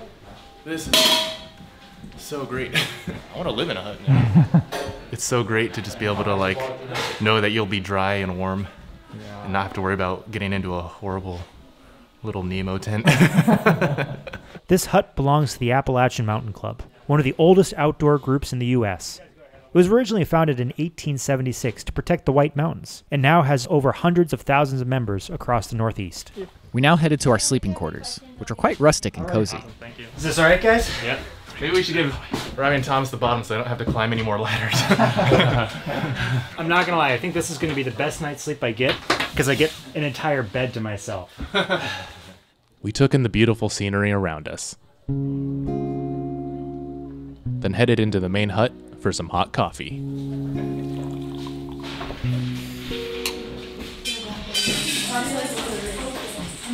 Awesome. While we enjoyed our beverages, we watched as the diligent staff prepared tonight's dinner. After that, we headed outside to meet one of the staff members, who would be giving a talk on some of the local plants. We went down to the dock by the lake, where we saw some ducks resting peacefully. Our guide told us about the carnivorous sundews that sometime grow in this boggy environment. He did a project on them in third grade. It actually, um, actually, my it was so funny because back then I wanted to get a Venus flytrap and a sundew and actually Like like a grow them dock. for that thing. And you literally had to use You like a see- scientific like ordering thing to get them shipped Oh, from wow. like South Dakota. Huh. Nowadays you can go into like any Home Depot and buy carnivorous plants. Yeah. Really? Yeah. Pitcher plants for sure. But yeah, I toured a bog in Ohio actually, and they showed some sundews, and they were like really small plants. Like you think they're gonna be big, but they're actually really tiny. Further down the trail, we took a look at some of the sphagnum moss growing in the soil. I did a science fair on sphagnum moss. Um, Apparently I did stuff on um, bog stuff. Moss like this can help to somewhat filter water, and it was used in the past as diapers and menstrual pads. Our guide demonstrated that the soil beneath the bog water consisted of several inches of dead moss. She said that because bogs are so good at preserving things, they have actually found bodies of um, ancient humans in some of bo- some of these bogs, bogs like this, and you know the bodies are almost perfectly preserved, with the exception of their bones. Their bones just kind of dissolve because of the acidity. So my question is, are they just kind of like silly putty? You pull them out and you're like, you know, the boneless person. So she talked about how bogs are like layers of undecomposed moss because it's so acidic that they like don't decompose because they inhibit mushroom growth. And that's why on like peat bogs, for example, you shouldn't start a fire on the bare ground because you could start a fire that lasts for years on the ground. Um, she also mentioned that sphagnum, sphagnum moss is very absorbent, which is something that I know intimately well. She said that the Native Americans who used to live here would use them as diapers. So yeah, you were you were spot on this whole time. We hiked a bit further down and took a look at more plants like wild blueberry, tamarack pine, which has been used by Native Americans to make snowshoes and other things, and Labrador tea, a rhododendron whose leaves are used for tea. Back at the main hut, Andrew spotted some other interesting plants growing nearby. I think raspberry or blackberry growing around here. I don't know if it's wild or planted. It's probably wild. It's kind of incredible how this place is engineered. I know this might be really simple, but I noticed that there's this grate right here before you come in, and that's to kick off all the snow on your shoes so it falls down below. So you're not tracking snow in.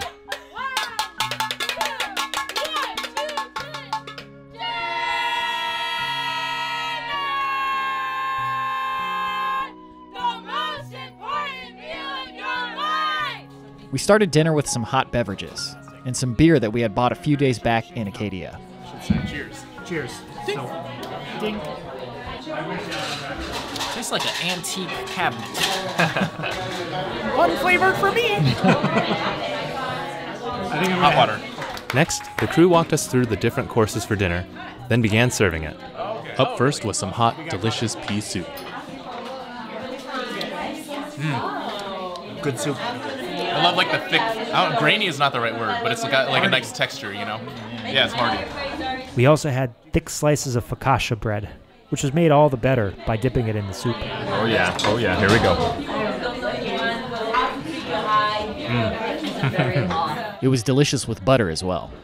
So everything, even the bread, is made here at this hut. Wow, it's pretty impressive. After that was a simple but refreshing salad, followed by some creamy mashed potatoes and gravy. There were also some green beans, cooked to tender perfection, and roasted turkey with cranberry sauce.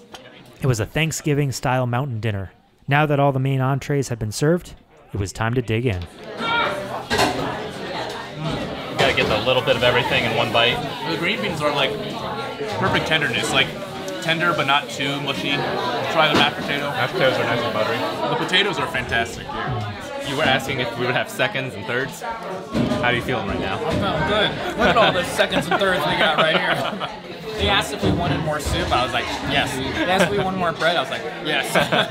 I'm gonna eat till my belly's full and then I'm gonna sleep really good tonight. After dinner, they took account of who wanted decaf and regular coffee. 13 decaf!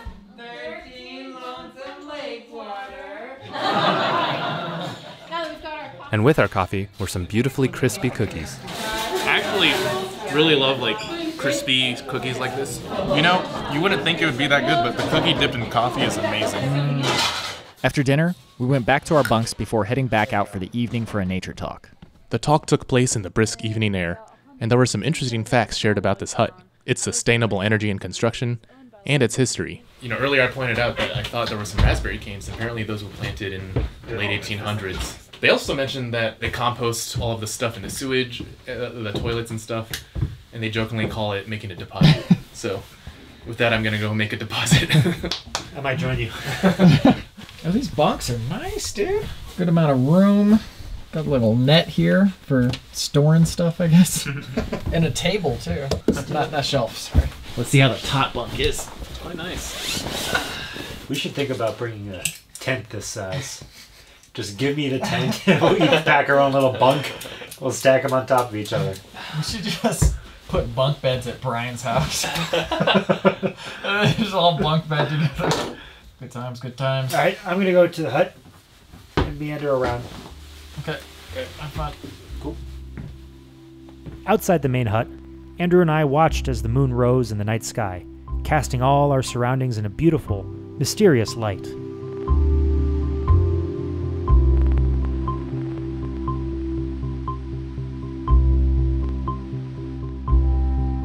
We sat out beneath the stars, talking about life. Something we used to do all the time as kids on nostalgic summer nights. It had been a full road trip journey so far. We had driven across upstate New York, all across Maine, and down New Hampshire. Tomorrow, we would have at least one last full day of the road trip. We were a bit sad to have the trip nearing its close, but tonight, we cherished the time that we had, taking in the present moment beneath the bright, shining moon.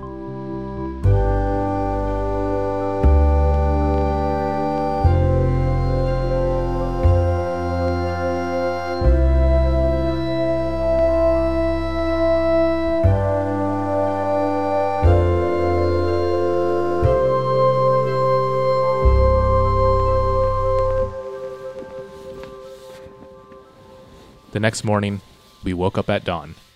The Mountain Hut staff woke us with a morning song. Good morning, Lonesome Lake. It is 6:30. We have hot coffee ready for you, and breakfast will be served at seven. The rest of us were just waking up, but Thomas was already ready to go. Morning, guys. How'd you guys sleep?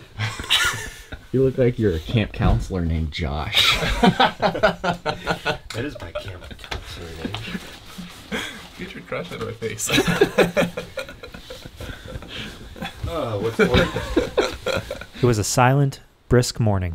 Before breakfast, I headed down to the docks to warm up with some kung fu. Then we started the day with hot tea and coffee, and Andrew was having trouble with the kettle. For breakfast was a giant bowl of hot, gooey oatmeal, along with plenty of accoutrement. I'm not usually big on oatmeal, but this looks really good. I like how it's solid and gummy. Along with the oatmeal were other options of brown sugar, raisins, and milk. As we ate, the golden glow of the morning sun began shining through the windows. Our time at this mountain hut had felt truly unique and special. After the oatmeal, we were served scrambled eggs with chives, a huge platter of pancakes, and of course, crispy strips of bacon. We made sure everyone at our table had a plate, then dug in. The eggs smell really good. They've got like chives in there or something. They do smell really good. Yeah. Bacon while hiking is pretty good. Yeah. Now we drizzled that sweet syrup on our pancakes and our bacon. This was definitely a heavy breakfast. As someone who usually doesn't eat breakfast, breakfast is a hedonistic meal. this is Oh, how you McGriddle. gotta do it. After breakfast, there was some strange shenanigans happening backstage. The crew put on a short play of sorts to remind us to pack out everything we had packed in, and to thank us for spending our time at Lonesome Lake.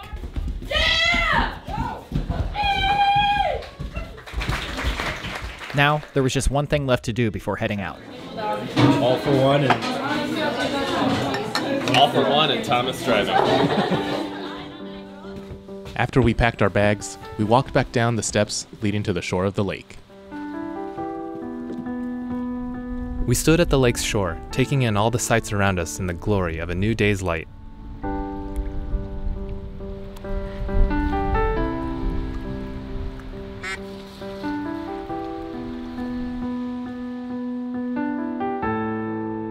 And then we departed.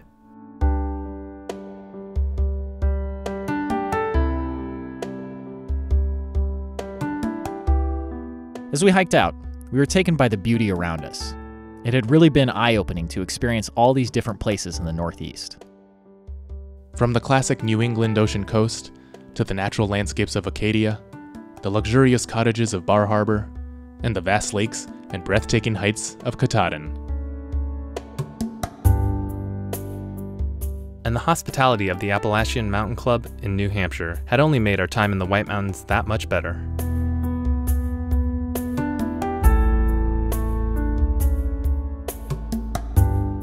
And on top of that, you're usually lucky enough to have one good friend you can travel with.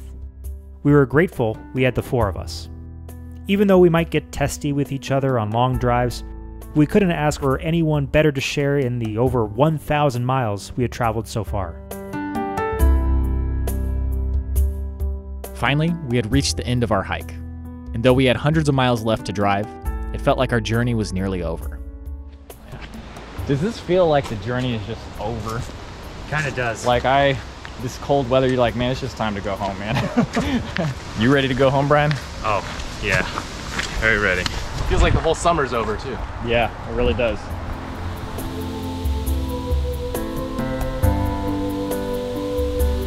We took one last look at the nature all around us. The fall colors were creeping into the treetops that swayed in the wind.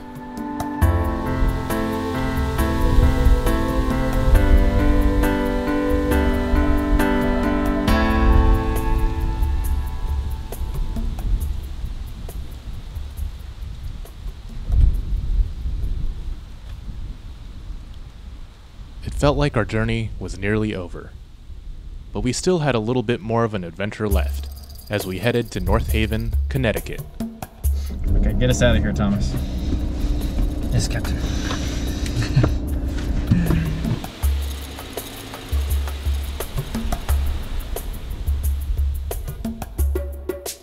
And so we were off. Along the way, we stopped to stretch our legs and get some much needed exercise. Then we passed over the Samuel Morey Memorial Bridge into Vermont, driving along its border. After another hour or so of driving through Vermont, we arrived in Massachusetts. We passed through Springfield, Massachusetts, where basketball was invented. Further south, we passed into Hartford, Connecticut, where we saw the distinct blue dome of Coltsville National Historic Park. And finally, we had arrived at my uncle's house in North Haven. As soon as we had parked, he gave us a tour of the backyard. Look at this awesome fireplace here. Woo, that is gonna be fun. Yo, this is super cool. The woods in the back had been neatly cleared, with walls of stacked logs sitting between trees. The last road trip, we ended with my cousin's house, and they were cutting big logs. Somehow these logs are part of the end of a road trip. Then we headed inside to unpack and settle in. This is our room for today. Look at this. Who gets which section of the couch? I feel like we, we can each get a section Two people on this couch. Andrew gets on the small one right here. Like I said, there's a guest room in the back. If you all want to sleep in the queen size bed, I'm here. Next, we were going to head to a local pizza spot that served a New Haven specialty. How many pizzas are you guys gonna eat? 50. Brian? I'm gonna eat a whole pizza. Tommy? I'm still living off that turkey and mashed potatoes from last night. I'm looking forward to that clam pizza. Is that real? Yeah. Clam pizza, no tomato sauce, clams and bacon. I'll enjoy watching these guys enjoy. well, you gotta try one. You gotta try oh, one. Oh, of course. Yeah. I'll try a bite. We headed out, and my uncle drove us to the pizza place, though it was a bit cramped in the back for the others. Uncle's office. Imagine nine hours like this. Today, we were headed to Ernie's Pizzeria, whose current owner, Pat, is close friends with my uncle. When we arrived, we also found out that they were celebrating their 50th anniversary. We headed inside, taking in the nostalgic late 90s atmosphere. Thank you so much. Thank you. Doing well. How are you doing? Good. You know what's good when it's paper plates, boy? Once we were seated, John ordered a couple of pizzas for us. Yeah, and then we'll get a white uh, clam and bacon. Lark. Yeah. Moots. Yes, of course. Clam and bacon. We also got a couple of drinks, including the Gasosa, an Italian lemon lime soda. It tastes like like a Sprite without the lime. I think they need to make more of this. And we also sampled some birch beer soda. and this tastes like root beer. Pretty. Lemony fresh. As we enjoyed our unique refreshments, Pat offered to give us a behind the scenes look at the kitchen. and while Pat was kneading the dough, he revealed that John would sometimes exchange box folding services for food. Yeah, so I'll come in after work some days if they're if they're short staffed and fold a couple hundred pizza boxes and help out uh, restocking the mozzarella. I cut bacon. I don't like peeling garlic. It's very that takes a long No one likes peeling garlic. Yeah. So, do they pay you in pizza? Yes. Oh man. Yeah. I need to volunteer at my local pizza shop. Go show them your skills. Go ahead, go show them.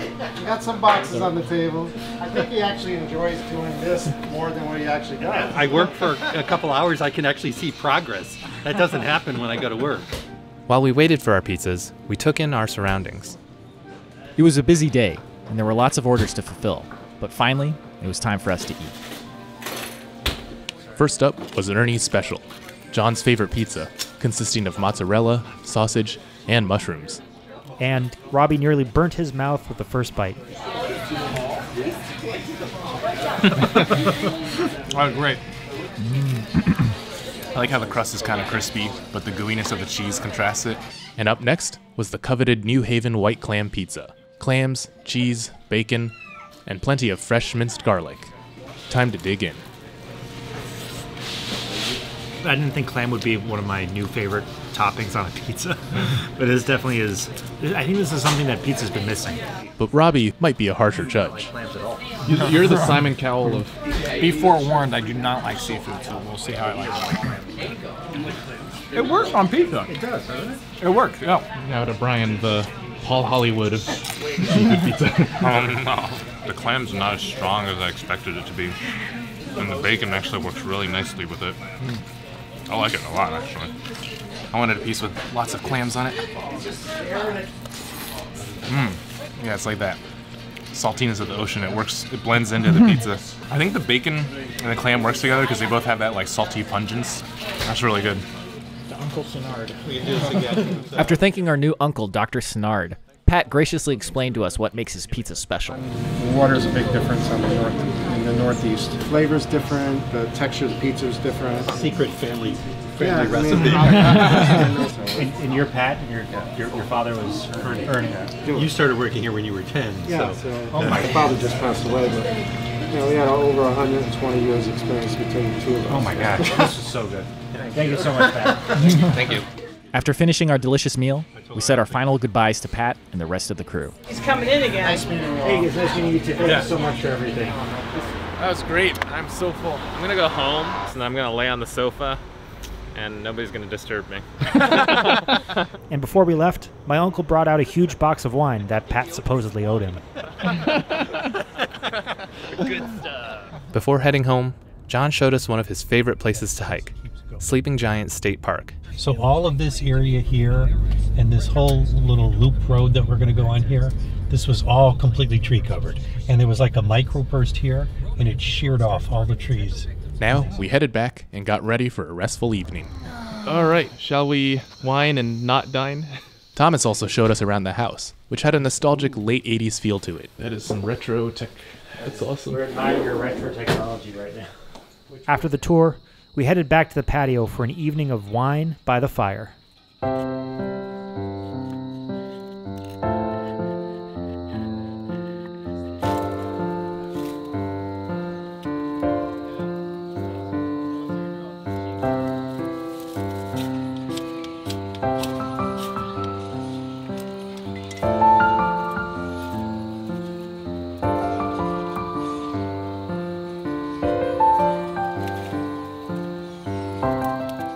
The fire started, smoke billowed out the beautiful stone chimney, a custom art piece constructed in such a way that there was no visible mortar.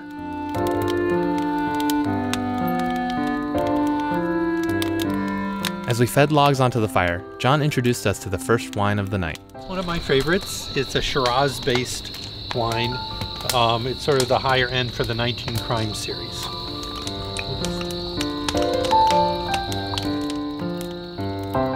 With the wine poured, we took our seats by the fire and enjoyed the rest of the evening together. Thanks for coming to visit. Thanks for ho- having us, Uncle John. yeah. Cheers, everybody. Thank you so much. Yeah. Ganbei. That's right. The fire burned on into the night as the sun set and the stars came out.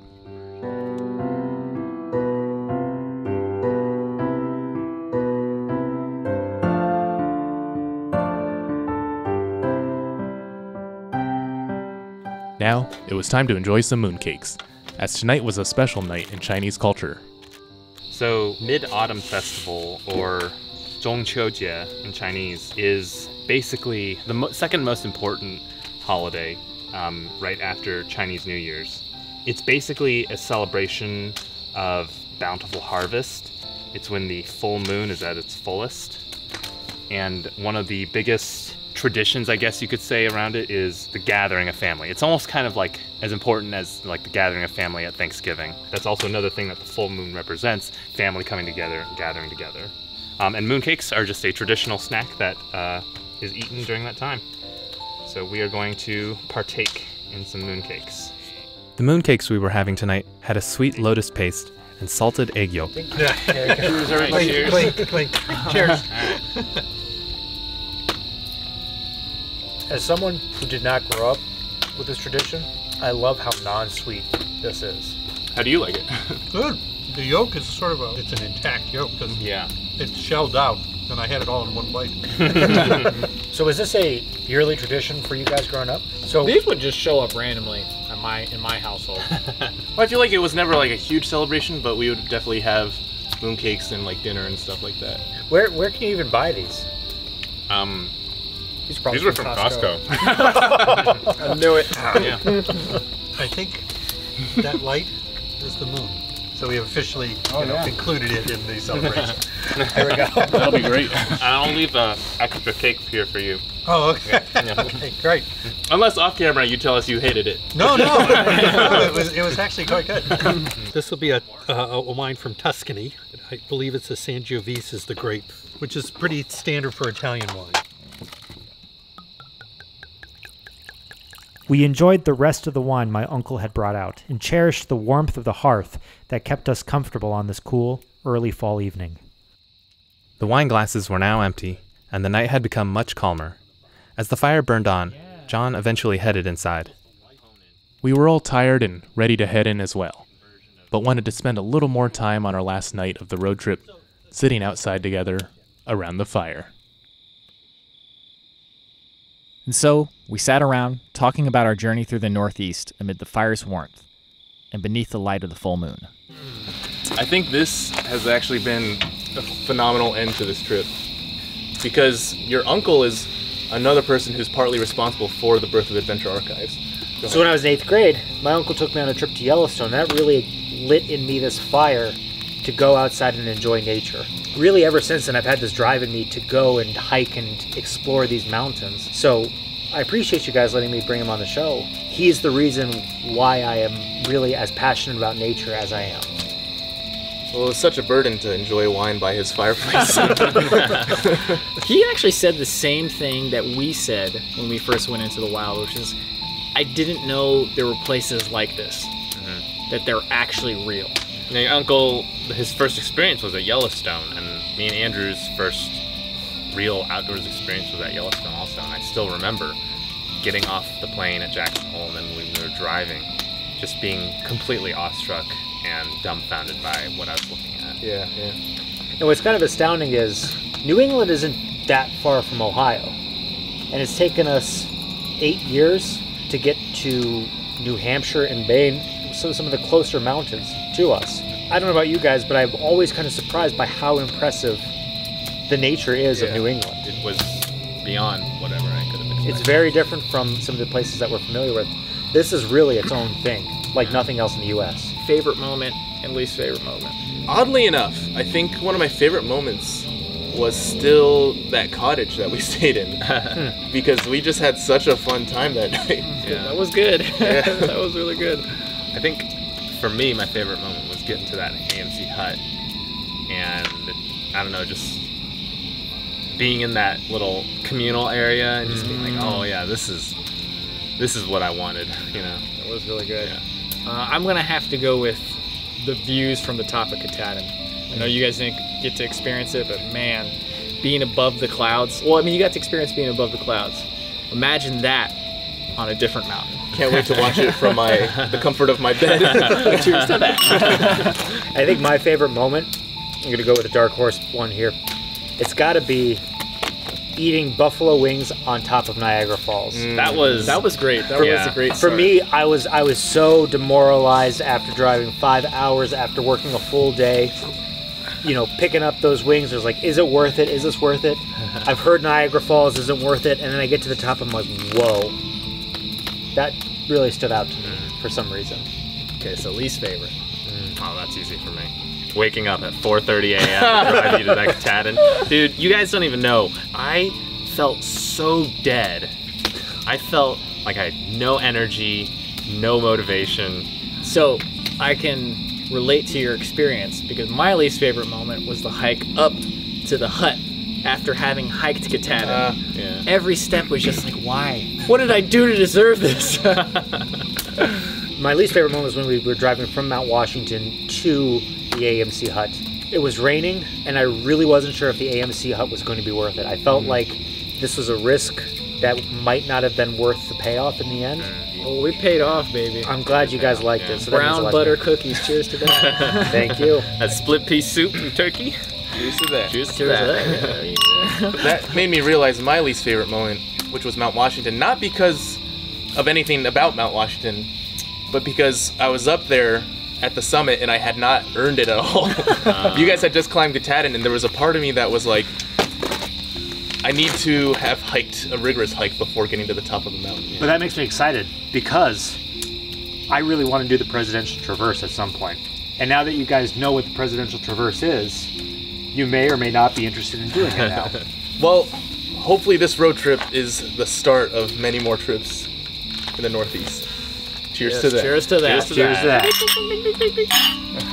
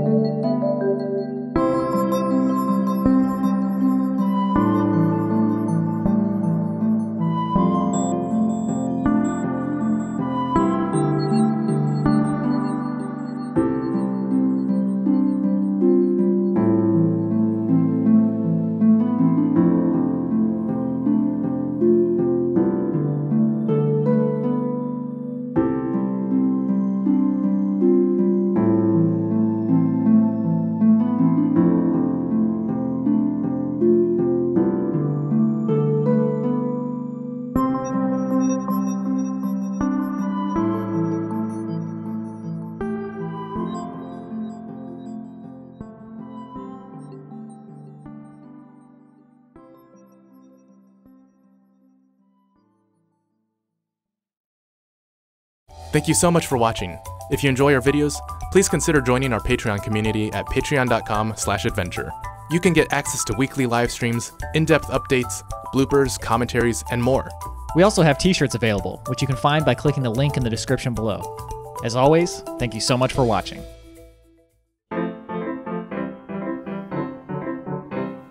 How's it going? It's going great. I feel very well rested. Trying to get us on the road so we can get back to Ohio while there's still some daylight. I woke up at 6 a.m. and looked at my phone and I was like, oh, it's already 6. Alright, strategy, water, iPad, Switch, PlayStation Vita, chargers. So what's the donut place? It's called Neil's Donuts. I don't know how to describe it. It's just the donuts are, are awesome. They're pretty good. They left a lasting impression last time I was here.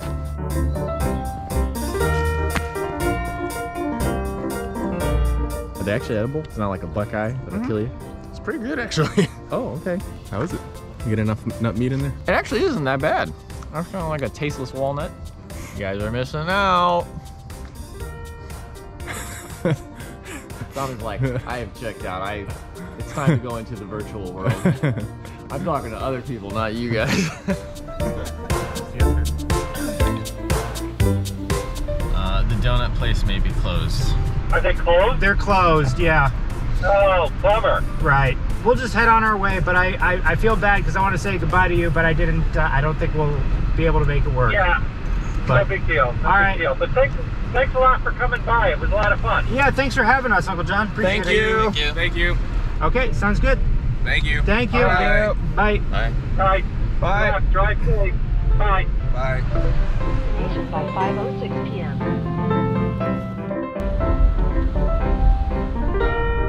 Uh, two sourdough breakfast sandwiches. Oh, actually, I want a wake up wrap sandwich. And could I get a wake up rack rack sandwich? Uh, I'll do the veggie egg. Veggie egg, please. And could I get two sides of hash browns? Uh, just get me um, a vanilla frosted And could I and a vanilla what? vanilla frosted donut Could I get a vanilla frosted donut? and a pumpkin munchies. And a what? Pumpkin munchies. And pumpkin munchies. I think that's it. Thanks for being patient. No problem. 32.95. Thirty-two ninety-five. I was gonna be like, that's gotta be like a hundred dollars worth of donuts. You don't got that Anything else? Yes. Donuts. Anything else? Oh, yes. Oh, fishing. the line is gone. Oh, it's pumpkin? No, not bad. Not bad. I could do. I'll, I'll do a pumpkin or two. It's almost October.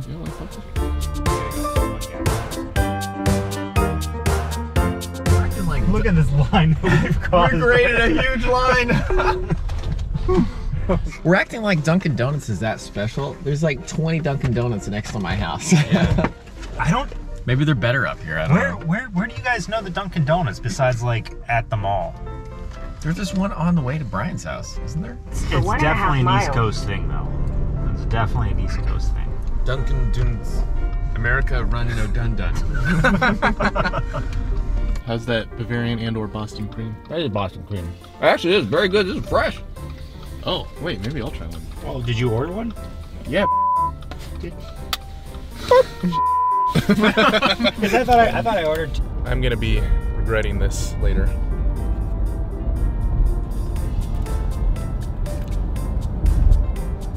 Delicious.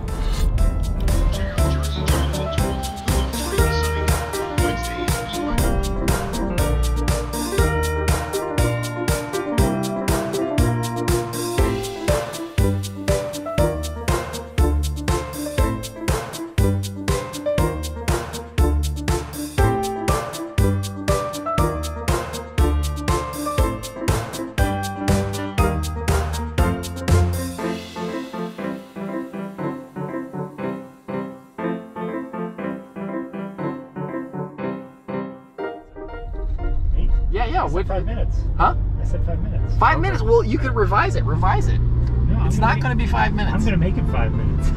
You make it five minutes and we'll see what happens. five minutes. There's gonna be in a your s- car. All right. See you guys later. See you, Robby. Good trip. See you, Thomas. Peace out. Robby, give me your keys. Give me your keys to my car. Thank you. All right, chauffeur, unpack our bags.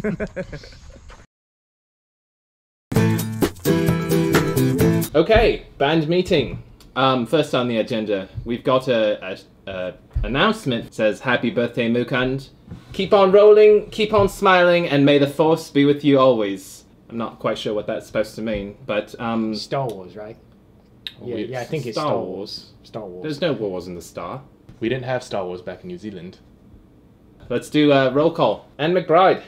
It's it's pronounced Andrew. Lynn and Rocco? Li- Lynn is my last name. It, and it's Roby. It's not. It's not Rocco. Brian and Katya Strom. Oh, well, I'm Brian, but who's Katya Strom? Item 2, a shout out. Oh no, that's uh, item 2A, shout out. Um, we've got to come up with ideas for shout outs. Star Wars. We could do a Star Wars. shout. Star Wars is good. Come on, we need to be a bit more original. What if we could come up with a skit where we just list the names?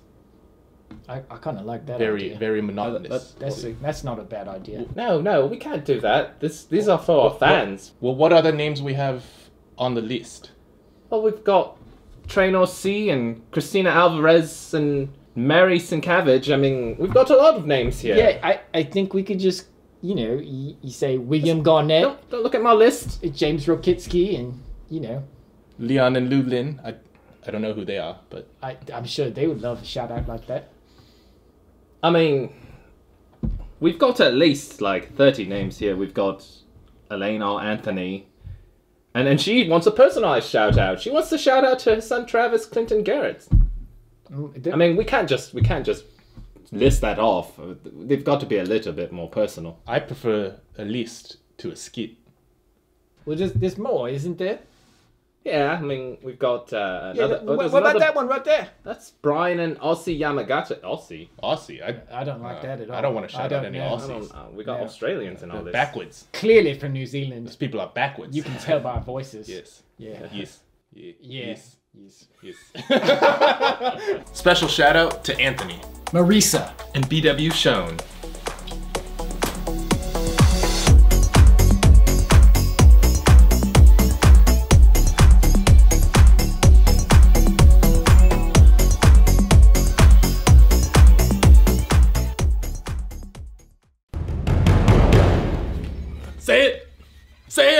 Richard Frangimore, I'd like to give a shout out to all the staff and friends at Cowans Gap State Park in Fort Loudon, Pennsylvania.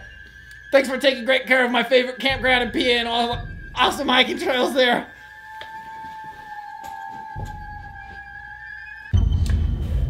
You gonna be okay sleeping by yourself tonight, Dan Vulcans, after that scary movie? Yeah, I'll be all right. Okay. Yeah, you, you just sleep tight. You just sleep tight. Don't let the bed bugs bite. You'll be fine. Thanks, Dad. You're welcome, son. You wanna check out my new ski mask and kukri that John Scott sent me? Ah! No? Okay. Good night, son. What am I thinking? Jason Bourgeois also sent us these brownies. You wanna try out these brownies? Ah! Oh, what am I thinking? Good night, son. You sleep tight. Hello. Hello, hello. How's it going? We need to give a shout out to Sue and Tom Kozlowski. Sue and Tom, thank you so much for everything you're doing. Without your help, we can't do what we're what we love to do. So thank you so much for your continued support, and looking forward to seeing you guys again. Good job for a cold call. Shout out to Douglas Jackson. We also have a shout out from TS, who would love to do a shout out to Nikki. She is his best friend, wife, and the most amazing mom to their son Liam that he could ask for. She is his own Energizer Bunny, and she can cram 48 hours of things in a 24 hour day. That is impressive. Also, we just missed it, but happy birthday to Mukund Kati. That's from your brother Sayali. Thank you both.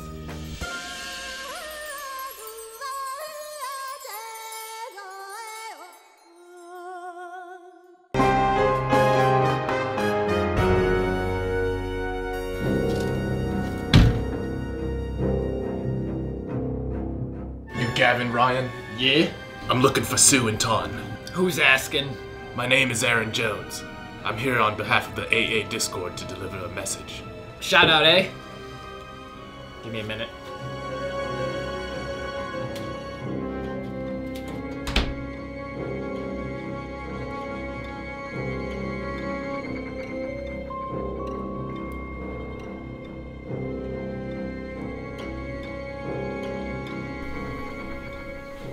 Wouldn't try that if I were you, Jasper Caparota. You shouldn't make a habit of sneaking up on bounty hunters from Expedition Research LLC. Jesus and Jamie paid good money for me to find you. I can pay you better. These aren't Imperial credits either. Where are you from? The Castillo system? No, the Paguaga system. What's your name, son? It's J. Ramundo. But you can just call me J. Mundo.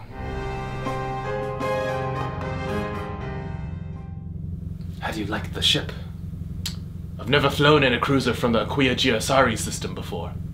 Ah, the engines were from GreatLakeWatercraft.com.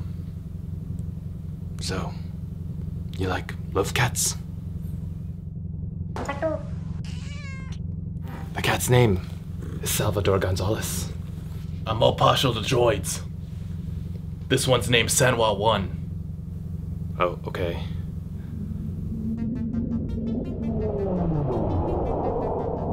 This is the Imperial Cruiser Madeline Holly. By order of Emperor Sunjan Huang, transmit your clearance codes. What shall we do? Oh, I've got a clearance code for John Truitt and Charlie Joe, my old friends. Alright, I'll input it into the system. Wait, is it Charlie Joe or John Truitt? How can you have a clearance code from two people? You want to sit out here a little longer and enjoy the fire? Yeah, we gotta at least wait till the moon comes out. Give me the line. Give me the Les Stroud line. if you listen carefully, you can hear the geese flying.